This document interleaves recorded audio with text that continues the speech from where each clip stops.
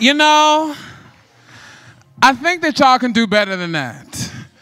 These poets have competed since January to come and get free on this stage in front of you tonight. So if you're ready for Teen Poetry Slam Finals, make some noise. There we go, there we go, there we go. What's up, everybody? My name is Darius, BKA Halle Berry Dairy. And I'm excited to be your host and MC tonight. I'm your MC tonight, sorry, not host. But before we jump into the slam, we have a very special treat for y'all. Say special treat. Special treat. We got somebody kicking off our Teen Poetry Slam finals, an amazing vocalist, singer, writer, dancer, performer, and gymnast. Make some noise for Bianca Brown.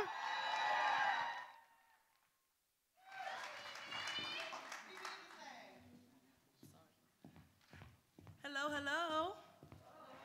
Hello, hello. Friday night going? Good.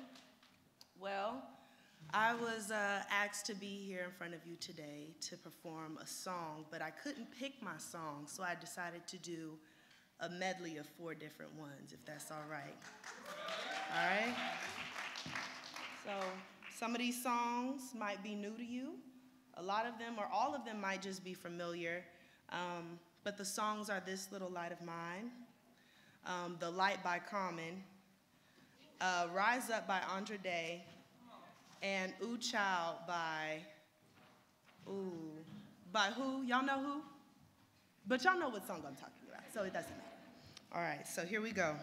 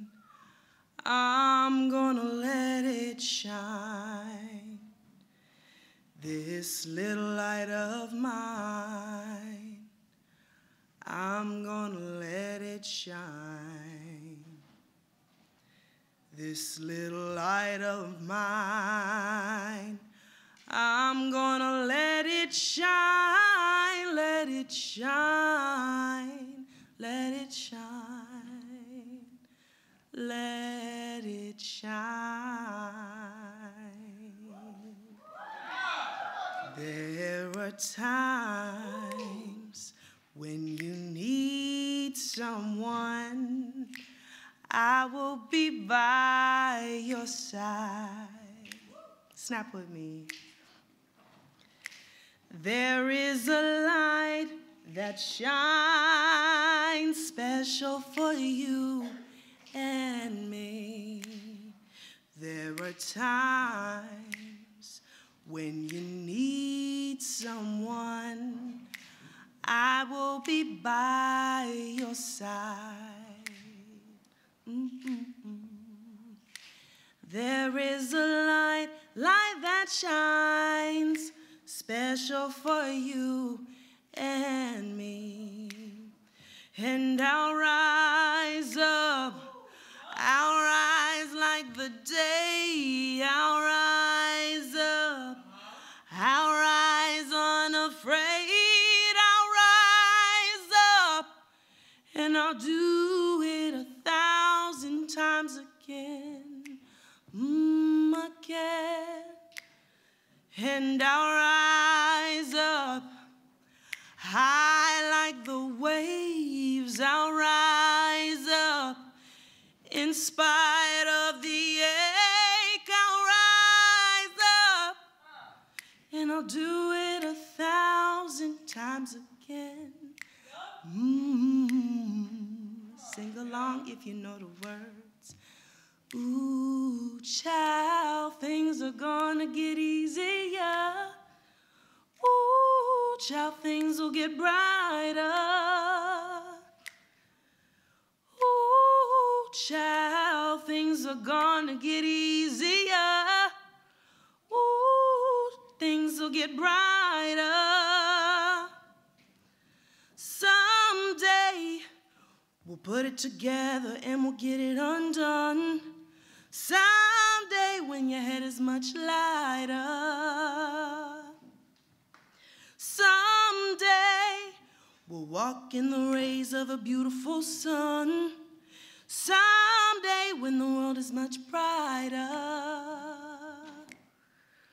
Ooh, child, things are gonna get easier. Ooh, things will get brighter. Cause things will be just as they are. So, with this little light of mine, I'm gonna let it shine.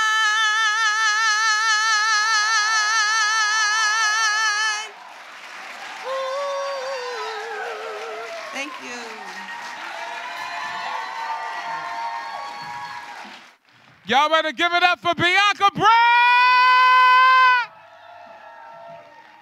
Ooh, that girl can sing. Thank you so much, thank you so much, thank you so much. Uh, make sure y'all come in, grab y'all seats, grab y'all seats. I'm gonna ask y'all again, are y'all ready for the Teen Poetry Slam Finals? Make some noise! There we go, there we go. It sounds like y'all are kind of ready, kind of ready. Um, again, my name is Darius Parker. I'll be your MC for tonight.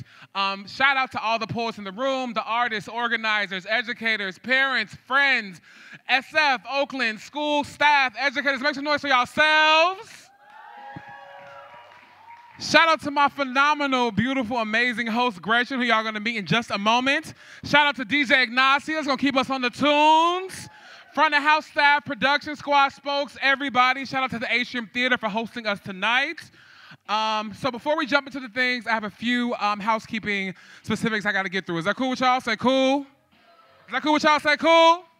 Cool. What's up, Nick James? Give it up for Nick James. so we have a land acknowledgement here from the San Francisco Arts Commission. As the indigenous stewards of this land and in accordance with their traditions, the Ramaytush, Ohlone, have never ceded, lost, nor forgotten their responsibilities as the caretakers of this place, as well as for all peoples who reside in their traditional territory. As guests, we recognize that we benefit from living and working on their traditional homeland. We wish to pay our respects by acknowledging the ancestors, elders, and relatives of the Ramaytush community and by affirming their sovereign rights as First Peoples. Clap it up. We understand this land does not belong to us, it belongs to our ancestors who've been here before. Um, I have one more statement for black labor. We also acknowledge that stolen labor is at the foundation of this nation and its vast and inequitable wealth. We recognize the power, resilience, and resistance of all enslaved African people whose labor built a nation that refused to recognize them as human. We recognize that our economy continues to rely on the exploited labor of incarcerated people. We acknowledge the debt owed, but beyond acknowledgement, we mourn the lives exploited and lives lost. Beyond our mourning, we commit to fight and resist white supremacy wherever it appears. Make some noise. So, as I said at the beginning, we're here for the Teen Poetry Slam Finals. 50 poets, 50 young people have blessed our stages across San Francisco and Oakland who are coming here tonight to compete for the top six slots to represent the Bay Area at the International Youth Poetry Slam Festival, Brave New Voices. This year, the festival will be in Washington, D.C., so poets from around the world will come together to compete in slam. And we all know the crown gonna come to the Bay, right? The crown gonna come to the Bay, right? All right, all right. So before we get into that, I want to kick it over to, like I said, my amazing host, Gretch, who's going to introduce us to our judges for tonight. Gretchen, what's up? The lady in red. Give it up for Gretchen, y'all. And what's tea? What's tea? Hello. Before I introduce you to these beautiful judges, how many of y'all have been to a slam? Raise your hand. Okay, and then how many of you have never been to a poetry slam? Raise your hand. Make some noise to the newcomers. Hello, hello. I'm gonna introduce y'all to what a poetry slam is. Now, a poetry slam is a competitive poetry event. We're here to provide a platform to celebrate some of the most incredible and urgent young voices in the Bay Area. Okay, say okay.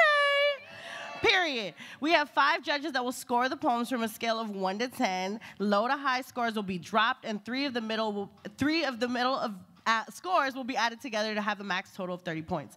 This is silent scoring. If you've been to poetry slam before and you were able to boo the judges, we love that, but not here. Okay, per. This is a silent scoring event, which means that the judges, the only people that'll be viewing the, the scores is at this table. Okay, so mind your business. And the way that you want to show your love is by making so much noise and showing so much love to the poets. Word? Period. So again, make maximum noise, control this crowd how you want to, you feel me? And show love to the poets. That's the most important part. Our Grand Slam champion tonight wins a cash prize and the top six scoring poets from finals are gonna be on the spot, on the team to represent Brave New Voices in Washington, D.C. this summer. Make some noise for BNV. And it's an election year, y'all. You know we about to rock the White House. You feel me? Are y'all ready to meet the judges? Say, hey, judges. Over here, we have Tinisch Hollins, Executive Director of Californians for Safety and Justice, co-founder of the San Francisco Black Wall Street. And where's she from? She from the city. She from right here, 415. Make some noise. Come on. And we asked all of the judges, what happens when you use your voice? Tinisch said, when I use my voice, shit changes. I know that's right. Reforming the criminal justice system to end criminalization of black and brown and all marginalized people and run power back to our people. Make some noise for Tinisch. We have Tamisha Wallace. Say, hey, Tamisha. Executive Director of Youth Empowerment for the Commission of California, and you repping what? East Oakland is in the building, y'all. What happens when Tamisha uses her voice? Energy shifts, conversations start, and connections are made. Make some noise for Tamisha, period. In the middle seat, we have Isa Nakazawa. Isa Nakazawa is, wow, a powerhouse, a Oh my gosh. If y'all haven't checked out her uh, podcast yet on Spotify called Stars and Stars, she be reading astrological charts of celebs, y'all. If you want to know the tea on some of these stars on a celestial tip, peep Stars and Stars, period. She repping Oakland. And what happens when she uses her voice? Paradigm shift, baby. Make some noise. We have Hadil Ramadan. Hadil Ramadan is like a literal celeb. If you don't know Hadil's poems, Youth Speaks Brave New Voices OG, and she's repping where? Palestine. I know that's right. Exactly. And what happens when Hadil uses their voice? Y'all better watch out and take cover because the ground moves, period. Make some noise for Hadil. I want y'all to show special love because we always love to have a youth judge, and we have one youth judge who is but 13 years old. Make some noise for Kavi. Period. Kavi reps Kavi reps India and Nicaragua. I know that's right. What happens when Kavi uses his voice? It echoes through the walls. Make some noise, y'all. And these are our wonderful judges. And again, again, again, I cannot, I cannot emphasize this enough. The, the government just banned three states from the right to protest. So please, every kid that gets up on this mic is an individual protest of their own right.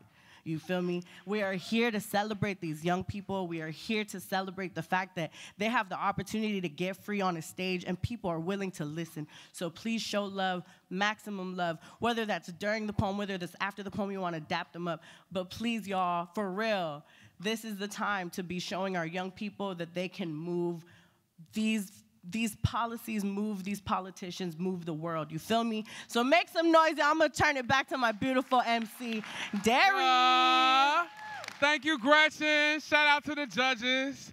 All right y'all. So again as gretchen said we're here to celebrate our young people. So y'all know what that means?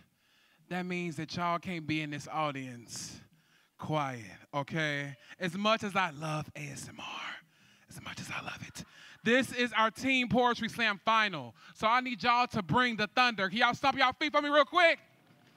Bring the thunder, bring the thunder. All right, so if a poet says something that moves you, a poet says something that makes you want to say, oh, yes, I love what that poet is saying, give me some snaps. Can I have some snaps? Cool, cool, cool. If a poet says something that just blows your mind, I want you to snap and say, mmm. Let me see a snap and a mmm. If a poet says something that's like absolutely phenomenal, you can snap mm and say, Let's go, poet. Let me hear you. Let me hear you. Let's go, poet. So, how many things we we do? Let me see your snaps. Let me hear your snaps. Let me hear mms. Let me hear stomps. Bring the thunder and let me hear some let's go, poets.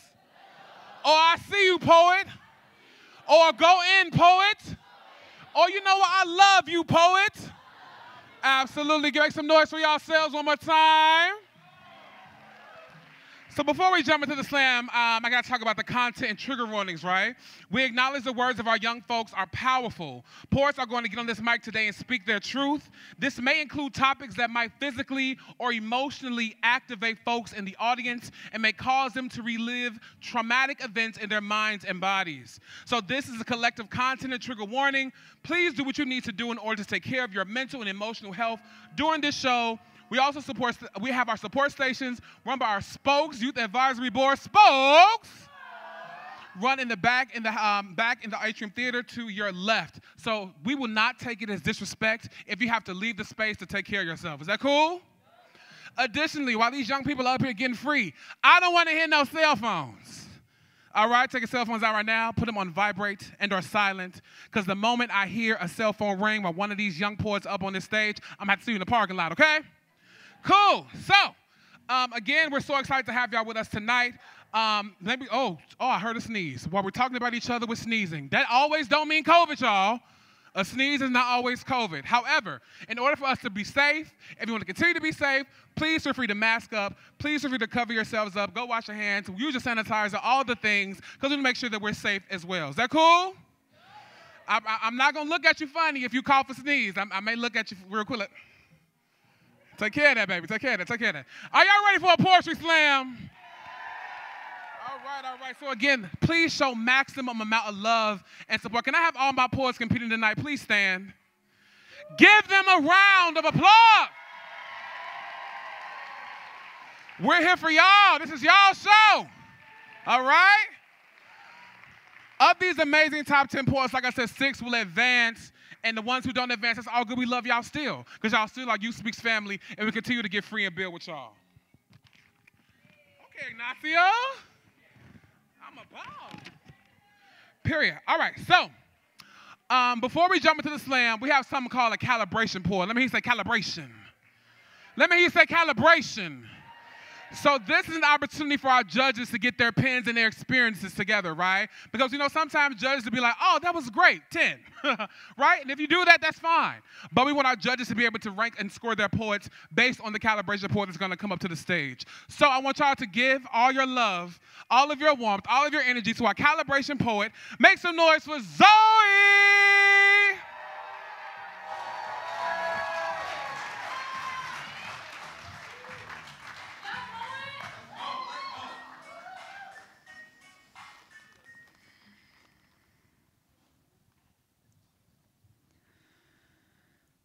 First thing that you should know about me is that I am used to being afraid.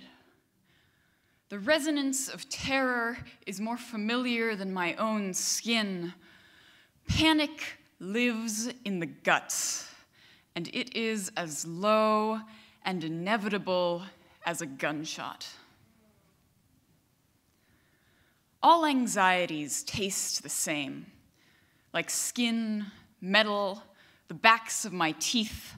My mind chews itself up, adrenaline and cortisol, and it's been doing that for so long, it's become nearly unremarkable. Another day, another soaring heart rate. Oh, I'm sorry, I fucked up. uh,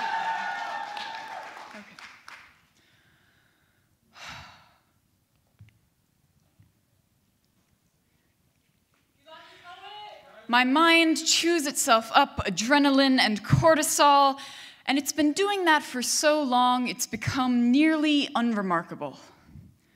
That gasping dread, that moment of blank terror, I breathe deep, and they sink down into my chest like a smothering. It's easy. There is always something new to catastrophize, or if nothing is new, then there is always fire, the color of the horizon, the breaking of my bones. I've been told I don't look anxious. Some calm exterior slots overhead to cover me. Panic is messy. and tiring, and I wonder if whatever controls my face has just stopped caring. Another day, another soaring heart rate. Fear is all muscle, prickling over my spine, lungs calcifying into scar tissue, running out of space. No breath, blank face, and internal collapse shoved to the side but still emitting gravity. I don't have time for fear, but that doesn't mean I can purge the taste of it from my mouth. Panic lives in the guts, sours into dread, wakes me up at night thinking I've forgotten something inevitable because I can't imagine life without it. Sometimes I think I was made to be scared. I am very good at finding flaws, and when you can't stop yourself from noticing what's wrong, fear is just a natural side effect. Sometimes I think the world was made to be terrifying. Everything is breakable, everything is a threat, even when it's not, and my chest is full of awful possibilities, and my head is full of noise. Panic is messy. It is loud and unraveling, and I am just waiting for the gunshot.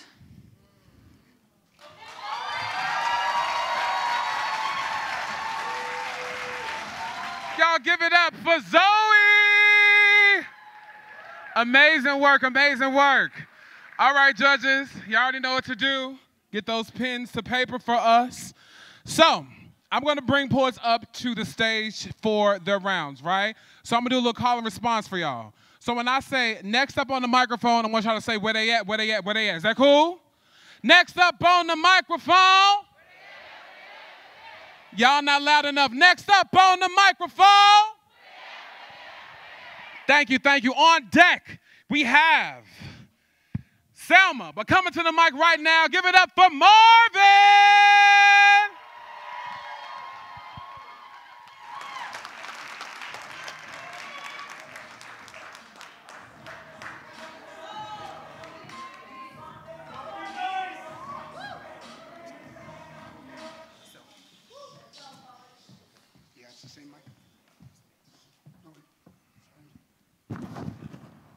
Amassing births or a massacre, which do you prefer? Must we first confer to discuss the worth of him or her? A ceasefire you won't ensure, bombings you can't rescind over the child that hasn't sinned, trapped in rubble from which you're sponsoring. And from my pain to my brothers and sisters slain, to my brother who died before birth, to my mother who always placed me first, will you discuss her worth? discussed by the same white man who came to say, This man died for you on a cross, resurrected, have faith. What you often don't say is how your God killed culture, practiced with his law and order. Labeled savages through sacrifice, but tell me what your highness did. Ordered executions over simple fucking finances. Huh? Who the real savage is. Hmm, you erase practice for rain, shower, crop growth, and good fortune. While your king killed for full power, fear, control of your choices. So don't speak to me about your morals. This ain't no quarrel. Don't speak to me like a friend. I want to slaughter the systems you defend. White supremacy, your friend. Jim Crow laws that you mend. Prison soaked red. You don't rehabilitate, but you pretend. You take activism as this recent trend. Like when has the struggle ever met its end? Values that you pretend like what wounds do you tend? And from Aztec fights to the immigrant plight, my body is one of hardship and divine light. Growing in an era from which my people were made into the issue, a topic to discuss, a political ploy to get us less employed, send them back or lock them here. Our power is what most you fear. I understand who most you fear, who stands at your heights.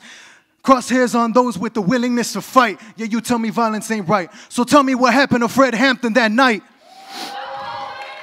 A blood soaked mattress, that's right. What about MLK's plight? His dream you adopt, but you're so eager to drop. Hateful rhetoric you bought. Like, how do you speak down on the woman who works the nights, missing time with her child? She paid the price, yet you spit the same rhetoric out of spite. Like her work ethic won't suffice. So show me the statistics that you're right. Explain to me her vice. Show me her crack pipe. You act as if most of your rapists aren't white. You act like I won't fight. This battle of conscience, you'll battle me unconscious like you didn't start shit. You hold the knife that was marked with my split conscience. I code switching offense. It's black and brown power with no off switch. And I can already feel the red dot, for my death is sought. What more do you need to understand the enemy is he who leads? All eyes and ears, face change every four years. Elect he who least you fear. Am I clear? And there's no doubt in my mind one day while I'm reciting lines, he'll send agents and they'll come from the rear and ask, What most do you fear? And before I mutter back, I'll feel the blood gushing out my back. Hypocrite.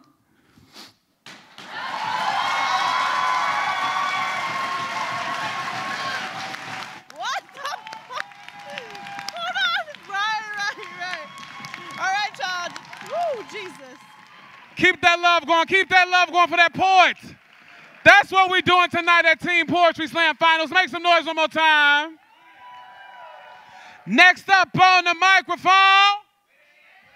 Oh, y'all.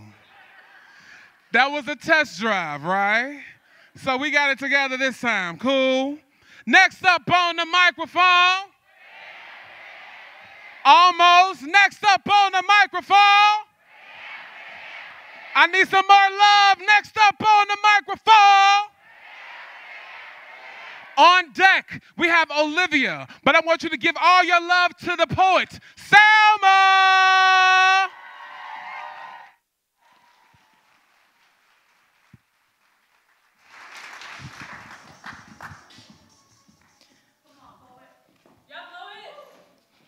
The term ethnic cleansing and the word genocide aren't synonyms. But to me, ethnic cleansing is genocide's pseudonym because it makes murderers sound like they're just doing maintenance. Except ethnic cleansing is not housekeeping, it directly bleeds into genocide. It only makes sense that an ugly truth would want to hide behind a pretty lie, but I want to bask in genocide's ugliness and I want it to radiate with its own shame because it's better than playing this game of global silence that always ends the same. I'm tired of hearing a nationally broadcasted cover up story before the truth. And I'm sick of watching repeatedly how they villainize the resistance on the news. It's almost as if they truly believe the oppressed should never fight back because to them, that's a lose lose. Our country claims to sympathize for the suffering while sending weapons to fuel their suffrage. So they urge us to live ignorantly, to indulge and waste our time so that our moral judgment and their agenda don't intertwine and they can continue to blissfully turn a blind eye to their own crimes. We constantly feed off the spoils of genocide with little conscience because its death and destruction is always off camera. Yet when we watch movies about American history, genocide should be the first name rolling at the start of the credits. While we blindly spectate this world death duet, a little girl sees her little brother's body buried under the rubble of her demolished home. Her sobs should be heard by the whole world because they pointed guns at just a little girl. Genocide hides behind a neutral system because neutrality has always empowered the oppressor and never the victim. Neutral is silent. Regardless, our shouts are too quiet. A shout becomes a whisper when they overcensor us on Facebook, Instagram, and Twitter. So let's call out the leaders who hide behind a neutral stance. If they can spend millions to fund both sides of a war, tell them to start paying war reparations in advance. Let's give the people a fighting chance. Please come take your, my place because my, ah, I'm sorry. oh my gosh.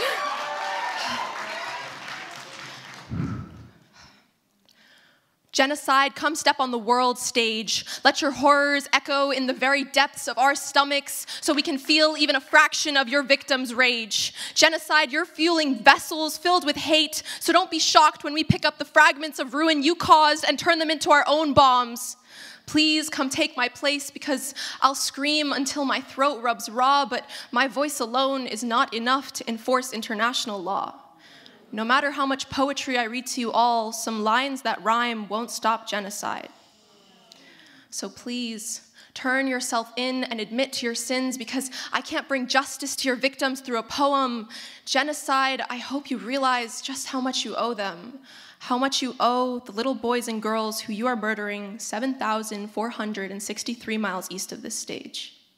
Our world's acceptance of genocide is long overdue for a change.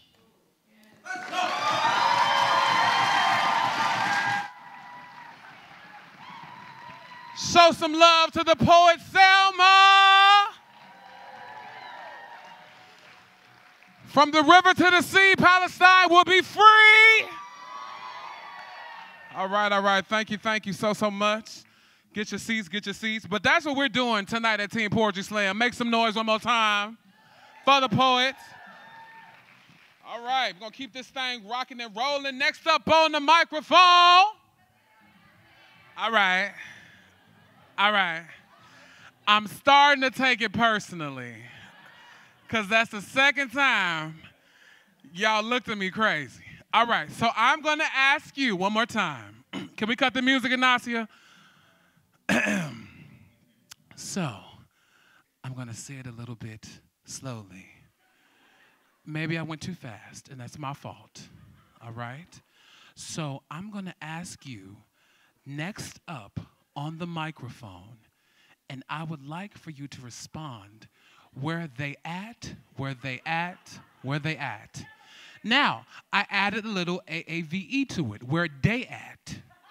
Okay? Where they at, where they at, where they at. Okay? For those of you who do not enjoy AAVE, we can speak it generally. Where they at, where they at. Or it, we are seeking them. All right, so when I say next up on the microphone, y'all are gonna say what? There we go, yell at me, right? Because I would hate to have to have another conversation like this with you, okay? Go to your room and think about this lesson, all right? Next up on the microphone, on deck, we have V. But coming to the mic right now, make some noise for Olivia.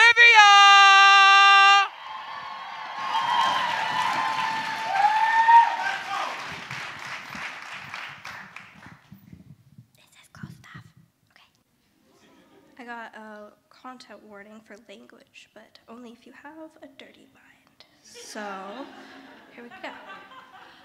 Under the condition that I was guilty for the time I took to start stealing space, I have been too big for my bones. The doctor said I was a firecracker, a screaming paper wrapped fuse, small enough to blow because I invited a breath too ambitious for my lungs to hold. I was born this way, you know, the wise words of Lady Gaga, but there wasn't any singing when I was told we were cut short. Short limbed, short lived. My palm line lineage wasn't built with enough spine to stay silent. With enough time, I too can be stretched thin, tall enough to be seen for what I am. Apparently, my length is below average, yet the footprints I leave are full grown. I am confined to the clothes of a prepubescent boy, defined by baby steps and squeaky toddler stilettos. They wear me as if I am not the one being cropped to make statements. I write in crayon, but my ideas are beyond my body. I don't have my driver's license, but in my dreams, my metaphorical monster truck doesn't need a booster seat by the wheel. I am a choking hazard with the way I roll, a high chair and all, but the steps I take take twice more footing than the average American. It is three commas worth of evolution telling me that despite not seeing eye to eye, my fucking rabbit feet have bigger shoes to fill. And if the only glass slippers I fit into are clown shoes, I will parade around in stilts to reach the new heights found in heaven. They stuffed a uterus in the space I occupy, engraved the dialect of motherfucking country on my taste buds, but told me not to preach in my native tongue. So if my hymns sound like gibberish, you just don't see things the way that I do. I've been told that there's potential in being below peripheral, that being invisible is the greatest blessing to be because to be perceived is to be flawed, to conform to a world that says short is for shortcomings, to be blind to the unseen is to fear the unknown, fear of four foot eleven and a half. The doctor reminds me as if that half inch matters, scared of me. Four foot 11 and a half, as if I don't parade around like five foot three, four, five, and an 18th of ego on a good day. I offend the five something, the sometimes six three, with the way I crane my neck to look up their nostrils. Stature doesn't define you, but statistically, that one inch makes the difference. It's true. Ask any man under the patriarchy, and they'll tell you that this is well over three inches. Size does not matter. But it does when the stranger in the dark discovers your six foot shadow is a shrinking figure. You are not the majority, only figuratively you stand out like a smacked down whack a mole in a carnival game. You are close but no cigar. You missed the mark, so you can strut all you want, but the most posing you can do is as a model minority built to leave the smallest imprint on this world, be environmentally and economically optimal, but just because I have an appetite doesn't mean I'll eat my feelings to gain a few extra inches. I have never asked to be above another or be on par with privilege, to look down at one for not being able to see beyond sun kissed skin. The doctor said I was a firecracker. My first words were not a greeting, but a question. I let my voice out to ask for permission to be heard, because it's not a right, but a privilege. A poet, not because I have a voice, but because without one, I do not exist. I may be too tall for the kids' menu, too short for the sliding door sensors, and not quite there for the vertical clearance in the parking lot. But I have built up the vocabulary to not need permission to speak because I don't need you to hear me because I know you do.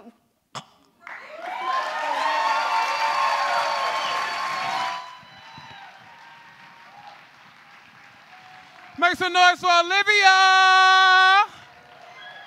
All right, all right, all right. So we're gonna keep it going, y'all. Keep it going. Next up on the mic. Hold on. I'm gonna, I'm, uh, hold on. I'm gonna make sure. I'm, I'm, I'm, I'm, I'm gonna make sure y'all ready. Next up on the microphone. There we go. I want y'all to um, on deck. We have our feature, but coming to the mic right now. Make some noise for B.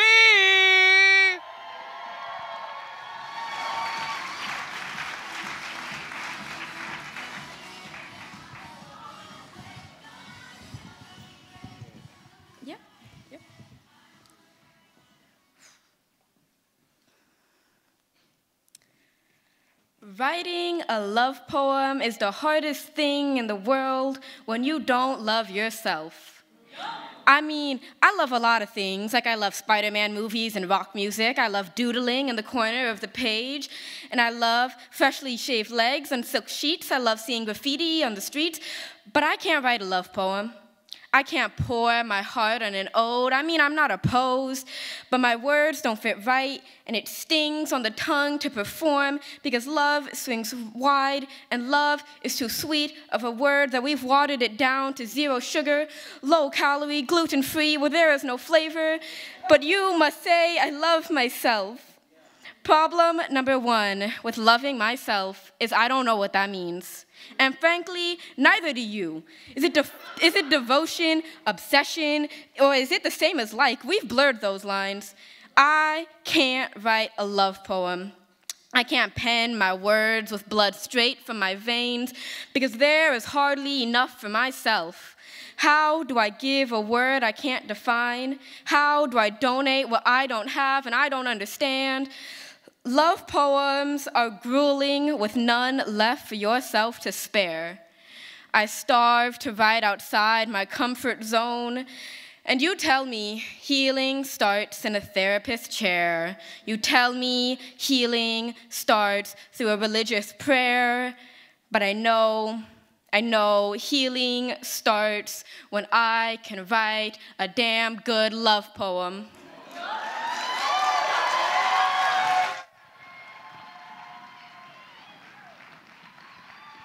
Y'all show some love to the poet V. All right, all right, all right. So I know I mentioned to y'all that we're here tonight to select our Bay Area representatives for Brave New Voices. Can I you say Brave New Voices? All right, so Brave New Voices needs a little bit of help from folks in the space tonight, right? So if you're able to give a dollar, two dollars, three dollars, five hundred, 1250 $779,000. If you're able to give it, we want it, okay? So we're going to post a QR code for you in just a few for you to scan that QR code and give us a gift. I am awarding the highest gifter tonight with a special VIP prize from Youth Speaks. Say VIP prize. That means that you have given everything in your pocket to help support the young people at Brave New Voices. That will go towards the festival and go towards us sending our team out to DC. Make some noise. Uh, y'all ain't happy about that. Like, he asking for some money. I am. So, um, I'll be back on the Ash for some money, but I want y'all to give y'all love. Clap it up for our second feature of the night. Give it up for the amazingly talented Oakland Originalz. If you guys want to see a breakdance show, everybody raise your hand. If you don't like English, just do this. Okay. Before we start this show, we have a couple of rules. Rule number one. You see something you like, you clap your hands. That's great. Rule number two. You see something you don't like and it sucks. You still clap. Everybody clap just in case. Okay, and rule number three. I need everybody here that's about to watch this show to get loud on the count of three for the sake of good energy. Let me explain something. Good energy equals good show. Bad energy equals bad show. What I'm trying to say is if this show sucks, if this show sucks, it's your fault. So please, get loud on the count of three. We don't care what you do to get loud. Slap the person next to you. Will Smith. Throw a baby in the air. Catch the baby. Go crazy on the count of three. Here we go. One, two, three. Everybody scream.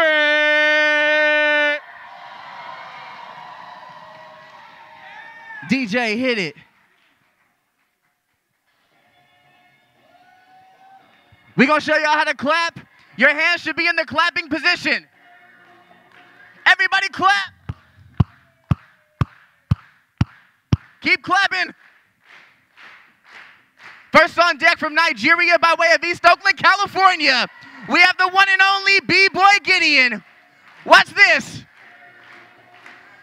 Clap, clap, clap, clap, clap. Everybody say, go Gideon, go Gideon, go. Go Gideon, go Gideon, go. Say, yeehaw. Say, yeehaw. Everybody make some noise. You know what? It's my turn. Everybody clap your hands. Ladies and gentlemen, we have the light skin sensation, the one and only, the showstopper. This is the black flamingo. This is the other black flamingo. Everybody clap. Hey! Everybody clap. Hey, hey, hey, hey, hey. Go. Make some noise. Oh, yeah. Whoa.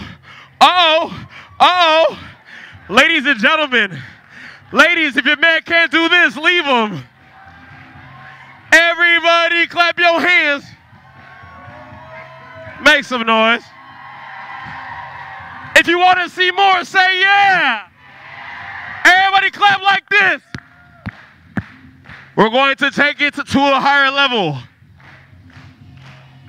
Everybody clap, come on. Everybody clap. Yeah, bro. Yeah, bro. We got a poet. We got a poet. Everybody clap. Oh, my bad. He was giving you a hug. All right. Wrong guy. That was a stand-in. Everybody clap. We got our first volunteer of the day. No, stay right there. It's okay. It's going to be okay. You can trust me. I'm from the ghetto. Everybody clap. Everybody clap. Here we go. Oh, yeah. Is that what I think it is? Could it be? We got a white guy. We got a white guy. We got a what? A what? We got a white guy. Pension plan, trust fund, 401k. Pension plan, trust fund, 401k. Everybody clap your hands. Everybody clap your hands. Yeah, Stand right here. Oh, oh, oh, I, oh, my bad. I forgot. Hold on. Hold on. Come with me. Crowd, make some noise for Rush Hour. All right, we're good. Put your hands up. Put your hands up. Put your hands up. Everybody put your hands up. Now wave them. Now wave them. Now wave them. Now wave them. Wait, somebody say ho. Say ho. Say ho, ho. Say ho, ho, ho. Say hola, hola, hola. Say yo me gusta soda. Cut the music. Crowd, make some noise for your volunteers. That's right, some volunteered. Some were voluntold. and look, this is our grand finale. grand finale. Everybody say grand finale. Cool. If you're not sure what that is, If you don't know, together.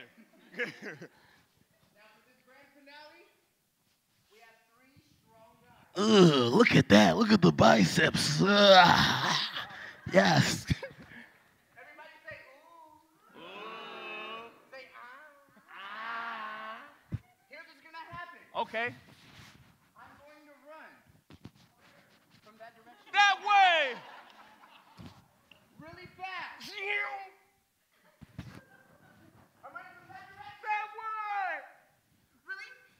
Yeah.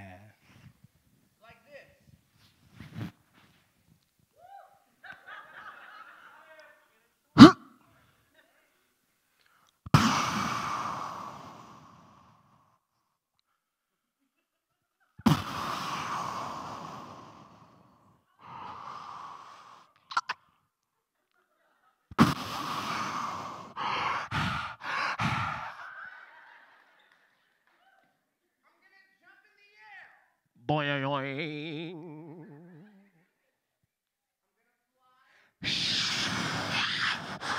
Oh, ah, oh, ah, oh. Ah.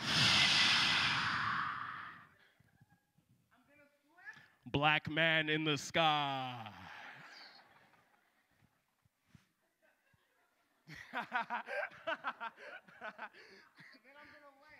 Ding. Clap it up, please.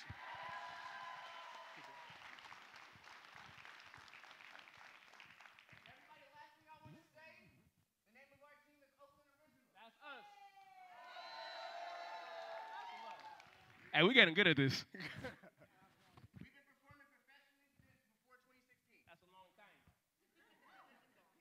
During that time, we've traveled all around the world. All around. Everybody say Europe, Asia, Mexico, West Africa, Canada. Shout out Justin Bieber. We've done commercials, TV shows, movies, worked with the NBA team, a bunch of stuff. Now look, we weren't always as good at dancing. We use dance as an outlet to alleviate the stresses of the day. It's the same with poetry. Now look, mental health is important. So when you're feeling down, dance on the ground. We've learned dance stands for Do it always, never cease to express. Clap it up.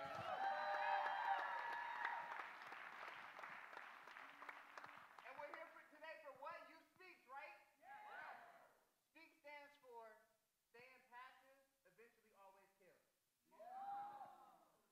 Now volunteers, Don't move. don't speak. Don't rock the boat. Turn it face, turn it face this way. Turn it face up. Yeah, can y'all say yeah to the left, to the left, to everything you own in the box to the left. Not this black speaker, the speaker on the ground. Thank you. You gotta make make it clear.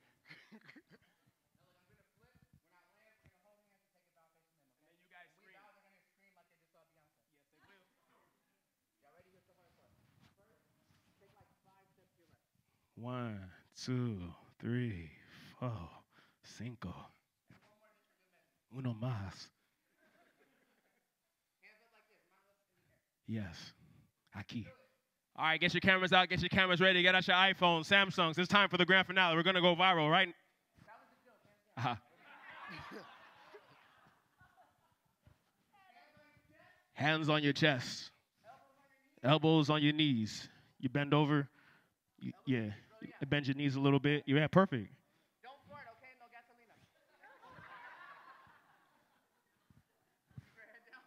Head down, please. Grande culo.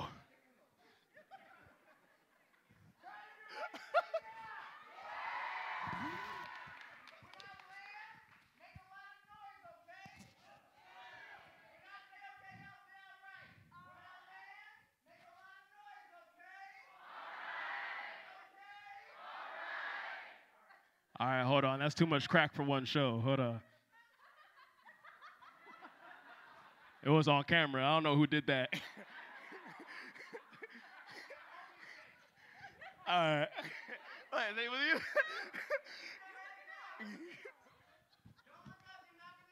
you can get it on camera later. Okay. Everybody clap like this. Everybody clap. Everybody clap. When we say make some noise, y'all make some noise. Everybody make some noise.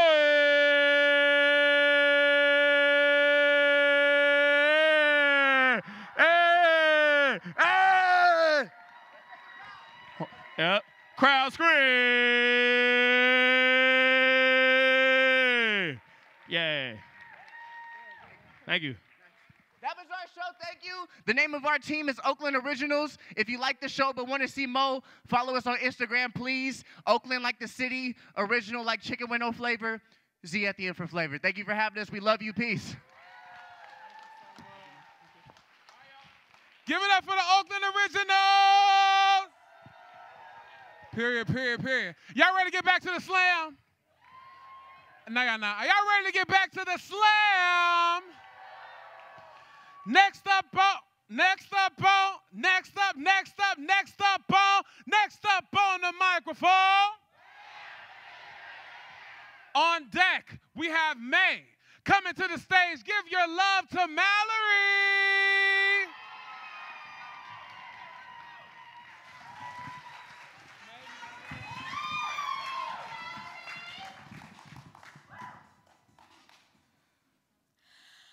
After a poetry slam, one of my friends came up to me and said, I've heard you perform that poem before. And I was like, No, I wrote that like six hours ago. And we laughed because they think all my poetry sounds the same. and they're not wrong, because this was going to be another rape poem. So instead, I looked up slam poetry prompts on Google. The first prompt was the letter never delivered. And I think about the dozens of drafts I have from every new therapist that told me to write a letter to my rapist. Undelivered. Letters carrying all the words I've left unsaid. Letters carrying more guilt than anger. Paper weighted down by apologies instead of I hate yous. Letters that were supposed to heal this shame in this body, but instead gave me paper cuts and I watched as I bled out self hate. The second prompt was I'm sorry. And I think about every time I've apologized for taking up too much space. I think about every time I've apologized for saying the word no. I think about that one poem I have that has the words I'm sorry in it 32 times already. I think about how I used to hold on to I'm sorry like a pocket knife to cut through his anger every time he turned frustration into a weapon. The third prompt was date rape. And I think about how I never know what to label what happened to me how the police said you weren't raped, you were domestically abused, how I still struggle to understand the difference between date rape and rape and sexual assault and domestic abuse. Isn't it all just hate? Isn't it all just hurt dressed up for legal purposes? Aren't you just wrapping up cruelty in a package to present to a court full of people who are also going to violate you, who are also going to pry another bone of self esteem from your body when they tell you no? Isn't no what we've been saying this whole goddamn time? The fourth prompt was I had a dream, and I think about how I dreamt of him every night. Then woke up and sweat to realize it wasn't just a nightmare, that I'm living in a flashback. Can you even call this a flashback anymore? The fifth prompt was the love I never had. And I think about how I've never been loved right that the moment possessiveness is dropped into a love potion, it turns into poison. That I write about love all the time because I tell myself if I read it to myself on paper, I might get to know what it feels like. That every love poem I write never comes out right because love and sadness aren't supposed to exist in the same puzzle. And I think about how love is like water. If I was a flower, I'd be withering. The sixth prompt was why common sense isn't so common. And I think about how 14 year olds should never know how to defend themselves from rapists. How looking, identifying red flags is not something people should be taught to look for. That carrying pepper spray in our purse is, it shouldn't have to be common sense. The seventh prompt was the incident that changed my life forever. And I think about how this wasn't supposed to be another rape poem. But that's all I could think about. That's all I could think about.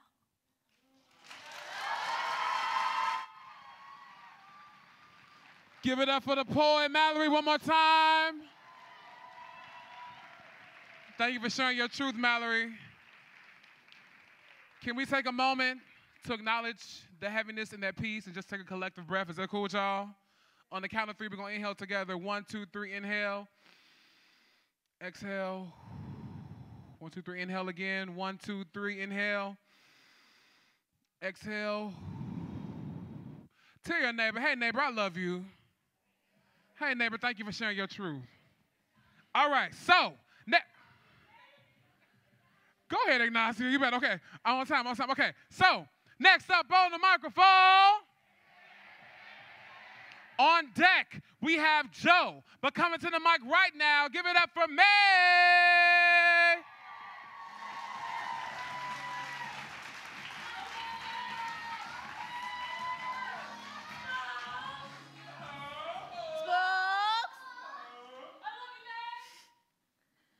Poem is for my Pakistani sisters, sisters that dance with me in blood, and sisters far across the seas. The waves calling to us, bringing us closer. Their faces I struggle to find in the neighborhoods of San Francisco. I call for them, hoping for a response, but all I am answered with is the echo of a heartbeat. I want to travel to the country my father was born, where I can see a culture like my own, to see the same thick, blessed hair cascading down my sister's shoulders. I yearn to have my head soothed with coconut oil and saffron garlands laced by sun kissed palms, to be dressed in gold trimmed saris and a bindi pressed into my forehead, like the mark of my father's thumb, a symbol that he is a part of me, even though I no longer remember his face. My sisters and I will dance under raindrops, sticking out our tongues to catch the gift God sent us today. We will sit under the acacia tree and eat the mangoes we stole from Dadi's garden until our tongues are tainted by the sticky sweet syrup and our lips can no longer taste. My sisters and I will play tag in the sugarcane fields, returning home with raw, scratched legs. We will bargain with the shopkeeper until he is fed up with our nerve and sells us bangles and henna for only 1,000 rupees. I would like to believe my sisters and I have a stronger bond than any blood ties or super glue, but I will never know. I'm stuck in America, unaware of the lives my sisters lead far across the seas, because I can't travel 7,666 miles away to a country that is more dangerous than I know. So I stare outside my window and watch the San Francisco fog roll in, wondering what it feels like to oil my hair with coconut or lace a saffron garland, to have a bindi pressed into my forehead and dance in the rain, to sink my teeth into the flesh of stolen fruit and come home with legs gnawed by sugar cane. My sisters know what it's like. I wish I did too.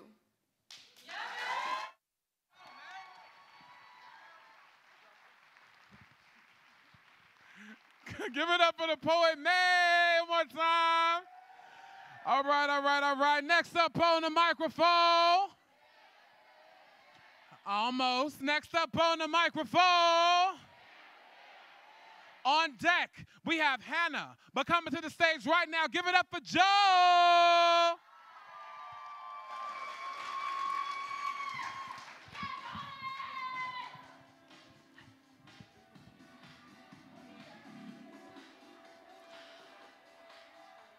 I once taught a boy who I'll call James. See, the other kids said James couldn't talk, but truthfully, James could talk just fine. Not only fine, that boy swallowed dictionaries, he ate books one by one like popcorn, spit out mellifluous enigmas with perspicacity, he devoured words for breakfast. But sometimes he slurped them, slurred them, a little too hard.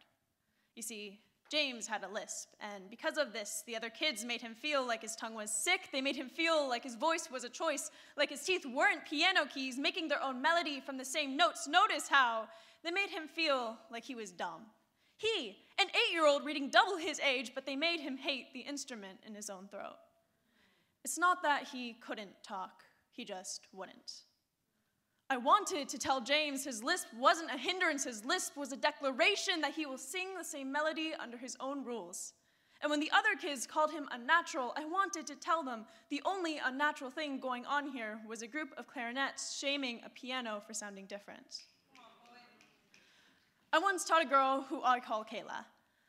The other kids pinched their eyes and sang Ching Chong Kim Chi Chong, which, as every Asian knows, is the funniest joke white America has ever told.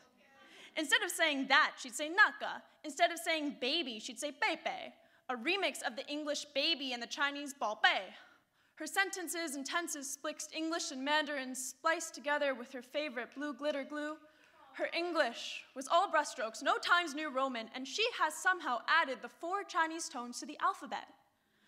I want to tell James his voice's softness and the mess of constant harsh consonants. I want to tell Kayla her linguistics are genius. I want to tell them they are perfect, but they're not. You can't pass English with a half Asian lisp the same way you can't pass the SAT with a haiku. The world is an orchestra that only lets wind instruments in. I should tell James tips on how to fix a lisp. I should tell Kayla to practice her English, wear an American tongue outside, and save her Chinese one for home, like PJs. But hell, I'm a poet. To the grammar police, I am a wanted fugitive anyway. Like those words earlier, if you caught it, Splixt and Snopes, they made those up, God damn it. So what are English rules anyway? In elementary English, we before shapes on tongues that lips can't quite fit around, snap in half ideas that are too big, too wild for sentence structures. But we poets, we don't cut our children's wings to match the penguins downstairs. So I tell Jayla, I tell James, I tell Kayla to never stop singing. I ask them to look me in the eyes. I never apologize. And if someone tells you to bite your tongue, bite theirs, figuratively. Because you, if you are not talking in MLA format, you are talking poetry. And you know what white guys with long last names say about poets? Poets are the unacknowledged legislators of the world. Legislators. I'm sure James knows what that means. It means when the world tries, it means when the rules threaten to break your neck, you break them instead. It means when the world tries to silence your song, you write a new world, one lispy S at a time. Thank you.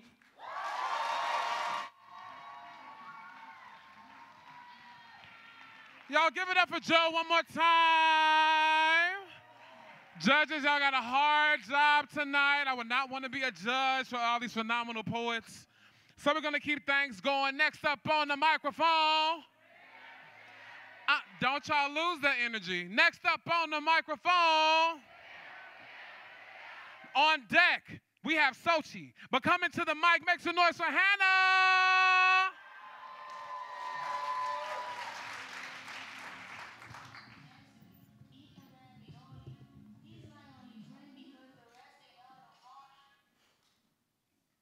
When I was a little girl, Spider Man was my hero. Flying past tall buildings and gliding past shiny cars. If I attempted this, I'd be seeing stars. When I try to be strong like Spider Man, I feel frozen from dark shadows crawling through my skin. The frozen fear I felt when my newborn baby brother melted in my arms, his stringy, thin strands of hair, ornate details decorating his tiny little fingers and toes, flowers of small red dots, dried up tears, boogers, and snot. He was a porcelain face. I clasped his hands and he clasped mine, his bubblegum toothless grin smiling, his thick long lashes fluttering like a dark brown moth. A web of inexplicable love formed in my heart. The first year of his life was a game of chutes and ladders. Trying to figure out why he was crying sent me back to math class solving y equals x and math problems so complex it made my head twirl. But as he grew, so did I. I realized that sometimes babies cry for no apparent reason. This just made our connection deepen. I learned to love his quirks and imperfections, his determination as he lined up his Spider Man toys. Those toys received more affection than me. Physical touch wasn't his love language, that I can guarantee, but a hug wasn't what we need. We had different goals because he filled up any empty space with his happy babbles, constructing elaborate webs of thoughts only his brain can detangle, all the knots of stress cut free with his joyful squeals. Flash forward. My baby brother grew 18 months old, and my parents sat me down to tell me about his diagnosis. It was something deeper than what the eye could catch, something that abruptly jumped into my world in just a flash few months prior. I was in my room watching TV when I heard my mom scream, her eyes panicking, my stomach twisted. She was holding up my brother's head. Call the hospital, she said. Boiling tears seeped down my cheeks. The rest of the night was blurry streaks. I remember my mother rushing to the hospital. I remember the tick tock of the crooked clock. I remember my stomach spinning like a carousel, feeling spider legs inch up my back. I remember the delicate porcelain that made up my brother cracked. I couldn't be his Spider Man, even with his safety at stake. I tried to stand up straight, but my legs were as thin as spider's silk. Tick tock, tick tock. The only thing keeping me company was that callous clock. Finally, I got the call. It was a seizure in the hospital. He had four more. A silk thread weaved through my brain and tangled together. So they drugged him up until I couldn't recognize his cry. I watched as my baby brother transformed from squealing toddler to mindless zombie. The meds made his mind wander. I'd be talking to him, but he'd be in Wonderland. I couldn't grasp what was happening. I couldn't understand. The thought, the thought of him hurting burned like a red, round spider bite. I can't stop scratching. Then I saw his goofy grin again, a crooked smile decorated with a chipped front tooth.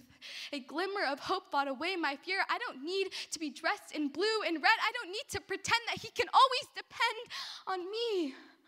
All I needed to do was love him more than my biggest hero.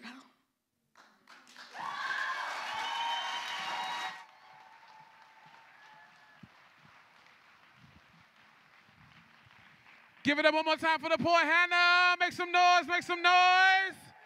We're almost done with round one, y'all. That is crazy. We're going to know who our top eight are in just a few more poets. So, next up on the microphone,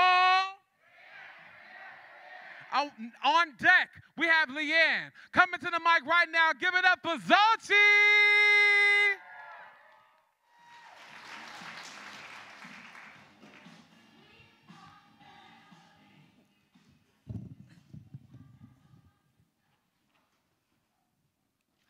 Mother is terrifying.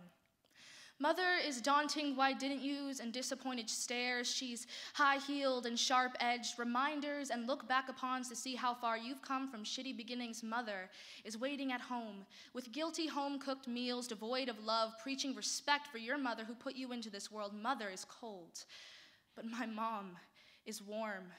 My mom is full of soft corners, loving smiles, water off a duck's back type attitude when she can afford it, crinkles and dips that show just how much she's put her smile to good use. My mom is yes and's problem fixer upper, hold back for other people's emotions, which ring loud in a space she maintains quiet. She loves what she loves and judges the rest, however subtle. That look in her eye, we have in common a lot of genes under the skin. You can tell my mother cares in a fierce don't you dare. Firm nose, I hate makes sense. Ribbons wrap my lungs in their love suffocation, I should say, but I don't have the words. I tell my mom a little too much. Her shoulder is ripping from the weight of my leaning. The places my prints are up and down her arm. The grip of a child who knew this person could make the world a little less dark, could make it make sense for fleeting seconds in her arm. And I wonder how she felt when I looked like my father when people assume we aren't even related, when her appearance next to mine fails to make sense. I wear her scarves out of the house and tell people when I steal her concealer three shades too light that I look like my mother. I wonder if she wishes I resemble her in more way than one. If my shortcomings spill over into the space that strikes a nerve, I stay quiet. In ignorant bliss, I will never know the specifics of who my mother wanted for my own well being. I think it's best. Sometimes I forget she's still my mother. Sometimes I forget that she's good at her job. Sometimes she doesn't let me drag her down to the depths of my fuck ups, and the back of my mind wonders if she still loves me, which disgusts me. How dare I diminish the image of a woman living life for the first time? Like she has all the answers to the mind she grew without knowing how I'd turn out? How brave the act, charging into the unknown of my adolescence, into my expensive tastes I didn't know were expensive, mood swings and my fault fights, teenage girl bullshit, so tiring to relive, thorns of my love she has learned to ignore over the years. My mom takes me on trips to pumpkin patches. She buys me Legos and princess dresses. She lets me cut my hair as short as I want. My mom flies me through the skies of our living room and lets me fall without fear. We sing and we laugh, and I look like my father but her voice is somewhere inside. She'll wait a few years till I learn how to carry a tune and think that's my girl. My mother is musical duets of long car rides, passing down lyrics telepathically. My mother made me a performer. Mother gives me gray hairs and judgment free talks about life happening too fast, reminders and look back upon how far you've come from her beginnings, love filled takeout respect for my mother who put me into this world. We haven't played airplane in years but her lullaby still lulls me to sleep and security, and soon I will leave home singing my mother's song.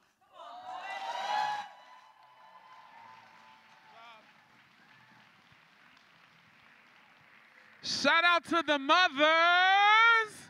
Make some noise if you love your mama. I'ma call my mama. I love. So, we have reached our last poets in the first round. Make some noise for yourselves. We did it, we did it, we did it, we did it, we did it. So, next up on the microphone. Next up on, that was chaotic. Next up on the microphone. Give all of your love to the last port in the first round. Give it up for Leanne.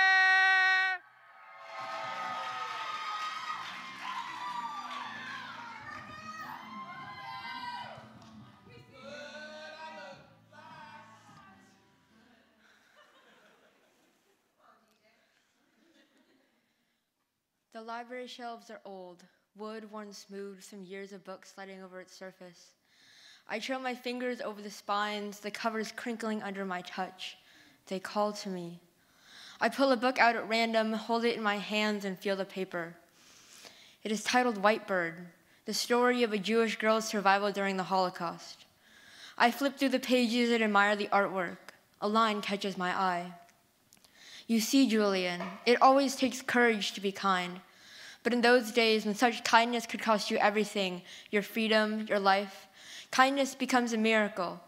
It becomes that light in the darkness that Papa talked about, the very essence of our humanity. It is hope. Ron DeSantis and company don't want us to learn this lesson. Books teach us lessons of humanity. Books are miracles, the product of the hours of time, work, and love that authors pour out onto paper, their gift to the world. They teach us, make us think and wonder, make us ask questions. So, my question is why ban books? Banning books is a symptom of illness in our society. Illness that breeds contempt for minorities, the unknown, the powerless. Book banners boast about the right to control what we read. By doing that, they dampen voices we need to hear. We are not perfect, but our nation is based on hope. We are always striving for a more perfect union. That hope is crushed when books are banned, ripping away stories that need to be told. If voices can be so easily muzzled in America, what hope do people yearning for freedom have in Russia, China, Ukraine, Gaza? Silencing books by banning them only leads to silencing people by bombing them. Over 3,000 books were banned last school year. These books are marked as a blazing fire, the pages kindling, the words a match. If anyone opened them, they would raise everything to the ground. Without representation, the kids who see themselves in these pages may lose hope. They feel alone, outcast. Books can save their lives, prevent deaths by suicide, keep them from becoming a tragic statistic. In my reading life, I have been in a courtroom with Scout Finch, taught school with Anne Shirley, fled from Pakistan with Nisha, fell in love alongside Nick and Charlie, fought battles with Fang Runin. Without these books, I would not be who I am today. They helped me become brave and strong. And they showed me that my, how to use my voice and that my voice matters. I'm lucky to live in California where books are not as likely to be banned. As a Chinese American female, representation makes me feel seen. It lets me see myself in the characters and lets me imagine a world where I am the protagonist and not just a quirky sidekick. But what about the gay kids in Florida or kids of color in Texas? They wander alone in a world with no guide, maybe forever lost. As I stand in front of this library shelf, I look up and see a stranger staring disapprovingly at me. When I look back down, Whitebird is gone. In that moment, I know ignorance needs to be met with strong voices and hope, speaking the truth of all our citizens. We will fight for those who cannot do it themselves. We must not let our stories be extinguished.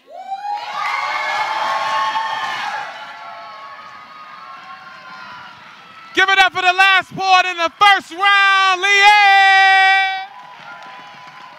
Amazing, amazing work, amazing work. Give it up for yourselves for an amazing audience. Clap it up. Thank y'all so, so much, so, so much.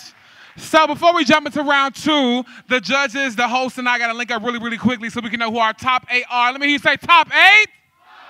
Top eight. Top eight? It doesn't matter about these scores. It doesn't matter who makes the team. What matters is these young people getting free with their voice. Amen? Amen. All right. So I'm going to bring up our next feature performer. I want y'all to give it up for Skelly Bo. Uh-uh, uh-uh, uh-uh, cut the, uh-uh, cut, cut it. Uh, uh-uh, go back, go back, go back. Y'all not gonna play with these young people, okay? I already told y'all we're gonna be outside in the parking lot if y'all play, okay?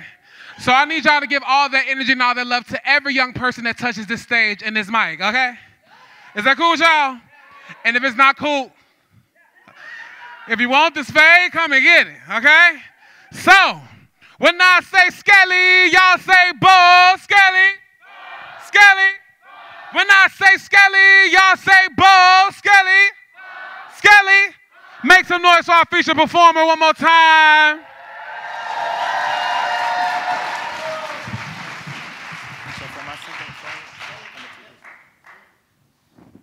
That's me up there. That's crazy.